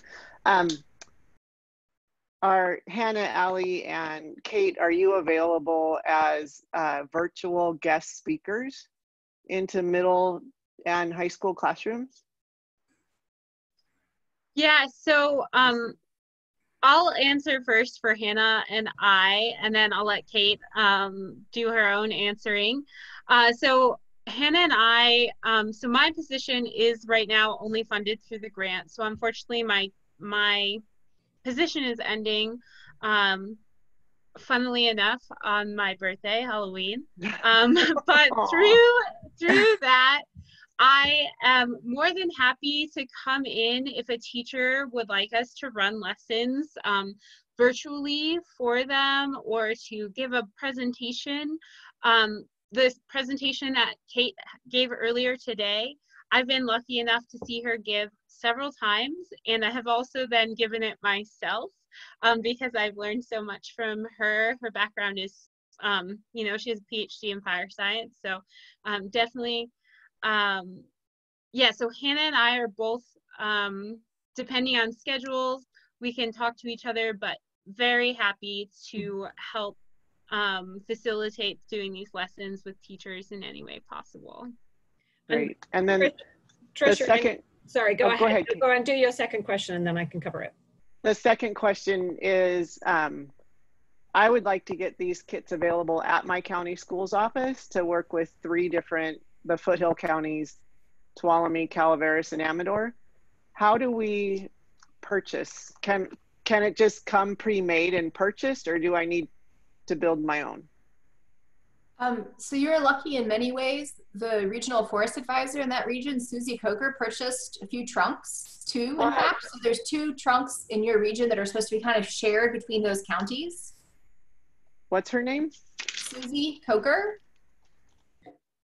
I can send you an email, Trisha, with her contact. Who does she? What What's her connection? Who does she work with? University of California Cooperative Extension, and she's a regional forest advisor that serves those regions. Cool. Um, and then in yay, Stephen. and then in terms of like purchasing kits. Um, well, if she has one for us, then I can work directly with her. Right. I, I would say it took us quite a lot of time to to put the kits together. Yeah. Um, and we did for the custom built things, we did make extras because we thought other people might want to put it together, make make more kits, and so um, you could definitely make more kits. They're probably about eight hundred dollars each to make just for the materials. Okay, because I also help run the Tuolumne um, Forestry Institute for Teachers, so we might be doing it virtually next summer. Mm-hmm. Um, you know, who knows? But anyway, they would love to have a kit available when we train teachers in the summer as well that can move from institute to institute. So anyways, okay, thank you. Trisha, I put Susie's email in the chat. Thank you, Stephanie. And then um, another Forestry Institute for Teachers leader, Ricky Satomi. Yeah, he is um, the leader. Right, he has a kit as well. Oh, he does have a kit? Mm -hmm. Oh, he doesn't fantastic. quite have a kit oh. yet. Oh. I'm putting together the final touches of the kits. He will have a kit maybe mid September, as will Susie have hers around mid September, just to give you an idea of timeline. And I think okay yeah, just to clarify, that might be why Ali and I are just being slightly vague in specifying exactly which locations they're at. It's because we're still putting quite a lot together. And um, so as soon as we have like a pinned down list of good locations, we'll share that with you. But I think what's valuable certainly for um, my area is knowing um, I would like them um, placed at um, locations that are easier, easily accessible, but also that are um, going to use them. So if you know that your school is like, yeah, we are taking this on, or your school district, then that seems like a great place to be housing a kit, and that could always be shared to other schools where appropriate. I think Susie has most of a kit. Um, she has the ones with the fire physics lessons. I'm just working on putting together the last of the natural materials, which has gotten held up um, partially because for huge chunks of time I wasn't allowed to go to my office to get to interact with any of the things, as is currently the case, just because of UCANR rules within different counties that are on the watch list. So it's been a challenge to get these final things together when I'm like, I can't even go and get the laminator to laminate the leaves. Or for a while, I didn't have my plant presses at home. So it's like, I can't even collect these things yet. But um, we're working on it. I, I have a couple Thank questions. You. Yeah, go ahead. Um, so first of all, what would be the approximate cost of a kit? Because I, my local resource conservation district has about twenty-five to five thousand dollars in funds that they want me to use for environmental education, and I'm thinking that this might be a good program to do. I, I yeah. The approximate cost is somewhere between um, 800 to 1100 depending on how savvy of a shopper you are. Okay, that, um, that gives me a good idea. And that's just for materials and not for time. Yeah, yeah. Which, um, which is important to recognize that some of the elements have a certain amount of time associated with their creation. Correct. The other question I have is I'm thinking about trying to adapt this, well, for virtual because that's all I'm allowed to do right now. And um, so I'm looking at some of these lessons though, thinking that you they might need to be done over like two periods when you're doing them virtually. So what mm-hmm. is the normal time frame of going through all the lessons that you would normally do in person? Yeah, so um, with the lessons, we haven't had a single group that has done all three units together and that's just because they do take a considerable amount of time. Um, i can imagine what we are really trying to get is uh, an after school program to do a trial run because they have all the free time to kind of um, choose what they teach their students. We weren't able to quite do that. Um, i would say a week of class periods um, per unit and perhaps the the natural and cultural fire ecology would be a little bit longer. So um, Hannah did most of the wildfire preparedness unit um, with a class doing one classroom period every day. Mm-hmm. Um, and with the fire physics the same thing. Mm-hmm. um, you i had to i did i think i chopped out some of those lessons that i went through today but um, it was certainly doable. And then of course when you move into the phenomena in, into action that's when of course that could be a whole other kind of component that is a longer term element. Okay last question. Would you recommend the possibility of skipping between the three different topics as you're putting together like your lesson plan yeah. Um, so when I've done field trips, because I do, I've done more um, field trips to the rec, and I plan a day as opposed to just one one lesson unit, and I'll do a couple from here, a couple from you know a couple natural and cultural fire ecology, a couple fire physics, and then I often um, always share about communication plans and go bag creation because I feel like that's something all students should be considering. So I kind of pull together different things and um, I, you know, as educators, I feel like you all have an understanding of how to create like a good arc for a learning arc for a day or um, even, you know, for a series. Um, so, you know, it's once it's out there, it's it's free reign. You can use it however you like. Okay, yeah. great. Thank you so much. Yeah, Henry. Uh, do you have a document that actually sets out sort of the specifications for a kit? What's in it? What what exactly what it is? If someone wanted to, okay, we want to do these lessons. Start with here. So, I, what do we need for those lessons, and what is involved in producing that particular equipment? Is there a document where you set that all out? Yeah. So the at at each of the beginning of the lessons, it says what materials you'll need.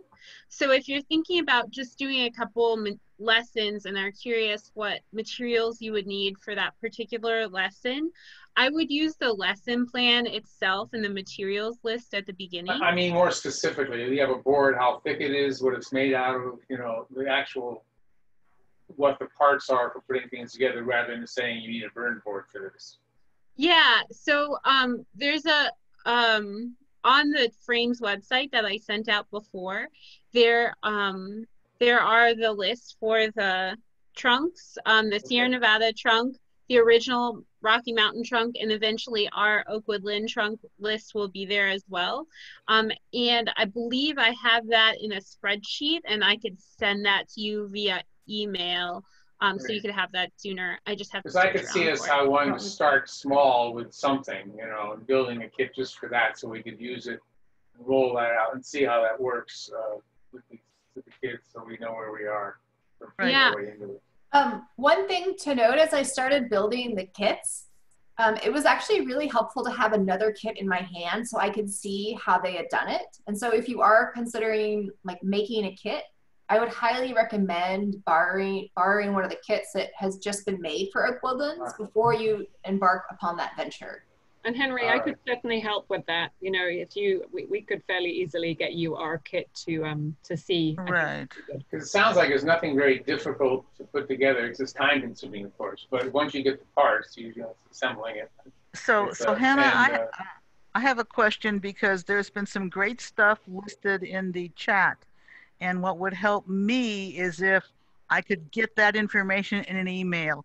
Here's the frames. The here's you know here's yeah. where I could so if if if, if you go through and get all of that, so I get an email saying, "Oh, there's everything I I wanted to make sure I got written we'll down." Do, we'll do a follow up email at the end Great. of the series. That will probably be next week. Now, I, I no, that's fine. I'm none of us. I'm in not that big of a hurry, but that would be great. Yeah, no problem at all. Because I'd like to go uh, talk to our uh, district superintendent, um, Brock, Great. Yeah, and anything I can do to, to support that, please. Yeah, this would be great to get a county-wide Department of Education yeah, sort of our push county, on this. Our county uh, super, he, he, he, we know him pretty well, and he would be into it, so that'd be great.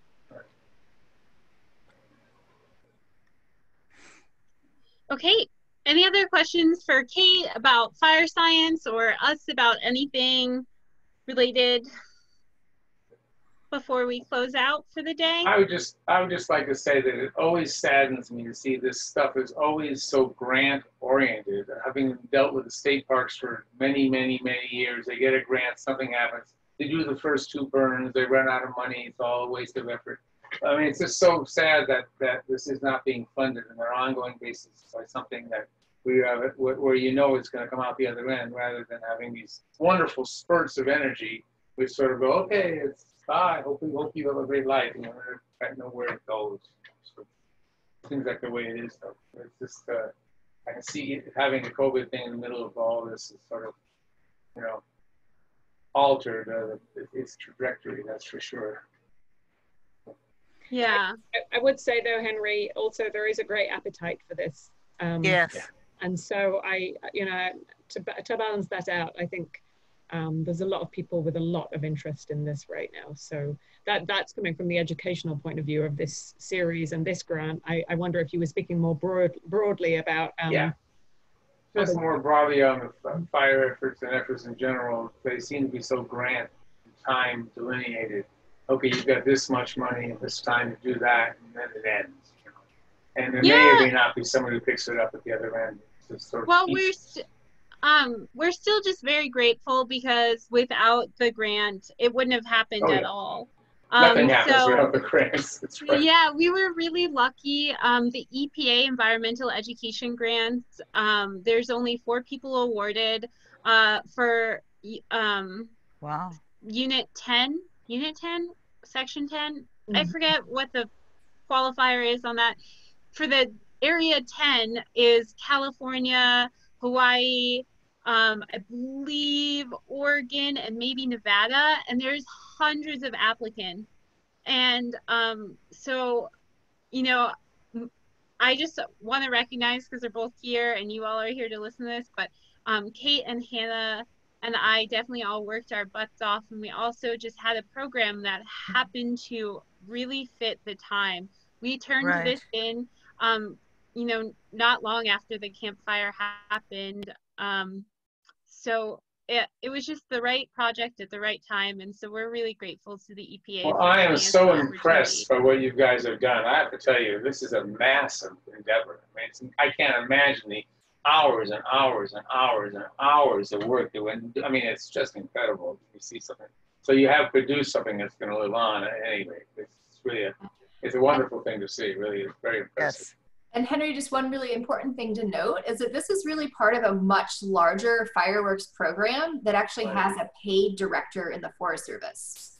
Ah. And so oh, fireworks as, you know, a curriculum was born in the Rocky Mountain Research Lab in over in Missoula, Montana. But now there's like 10 or 12, I don't know, maybe 20 now have been proposed sure. different curriculums. And so, you know, it's still going, it's still there, the curriculums you know talk to one another and build upon what the others have done. And so in that way I, there's a lot of continuity in these ideas. Thank you. Mm-hmm. yeah. Yeah. Cool. Anything else before we go? Um, we'll see you all back tomorrow at 10 we have another great guest speaker coming to talk about trauma informed education and um, ways to help um, manage um,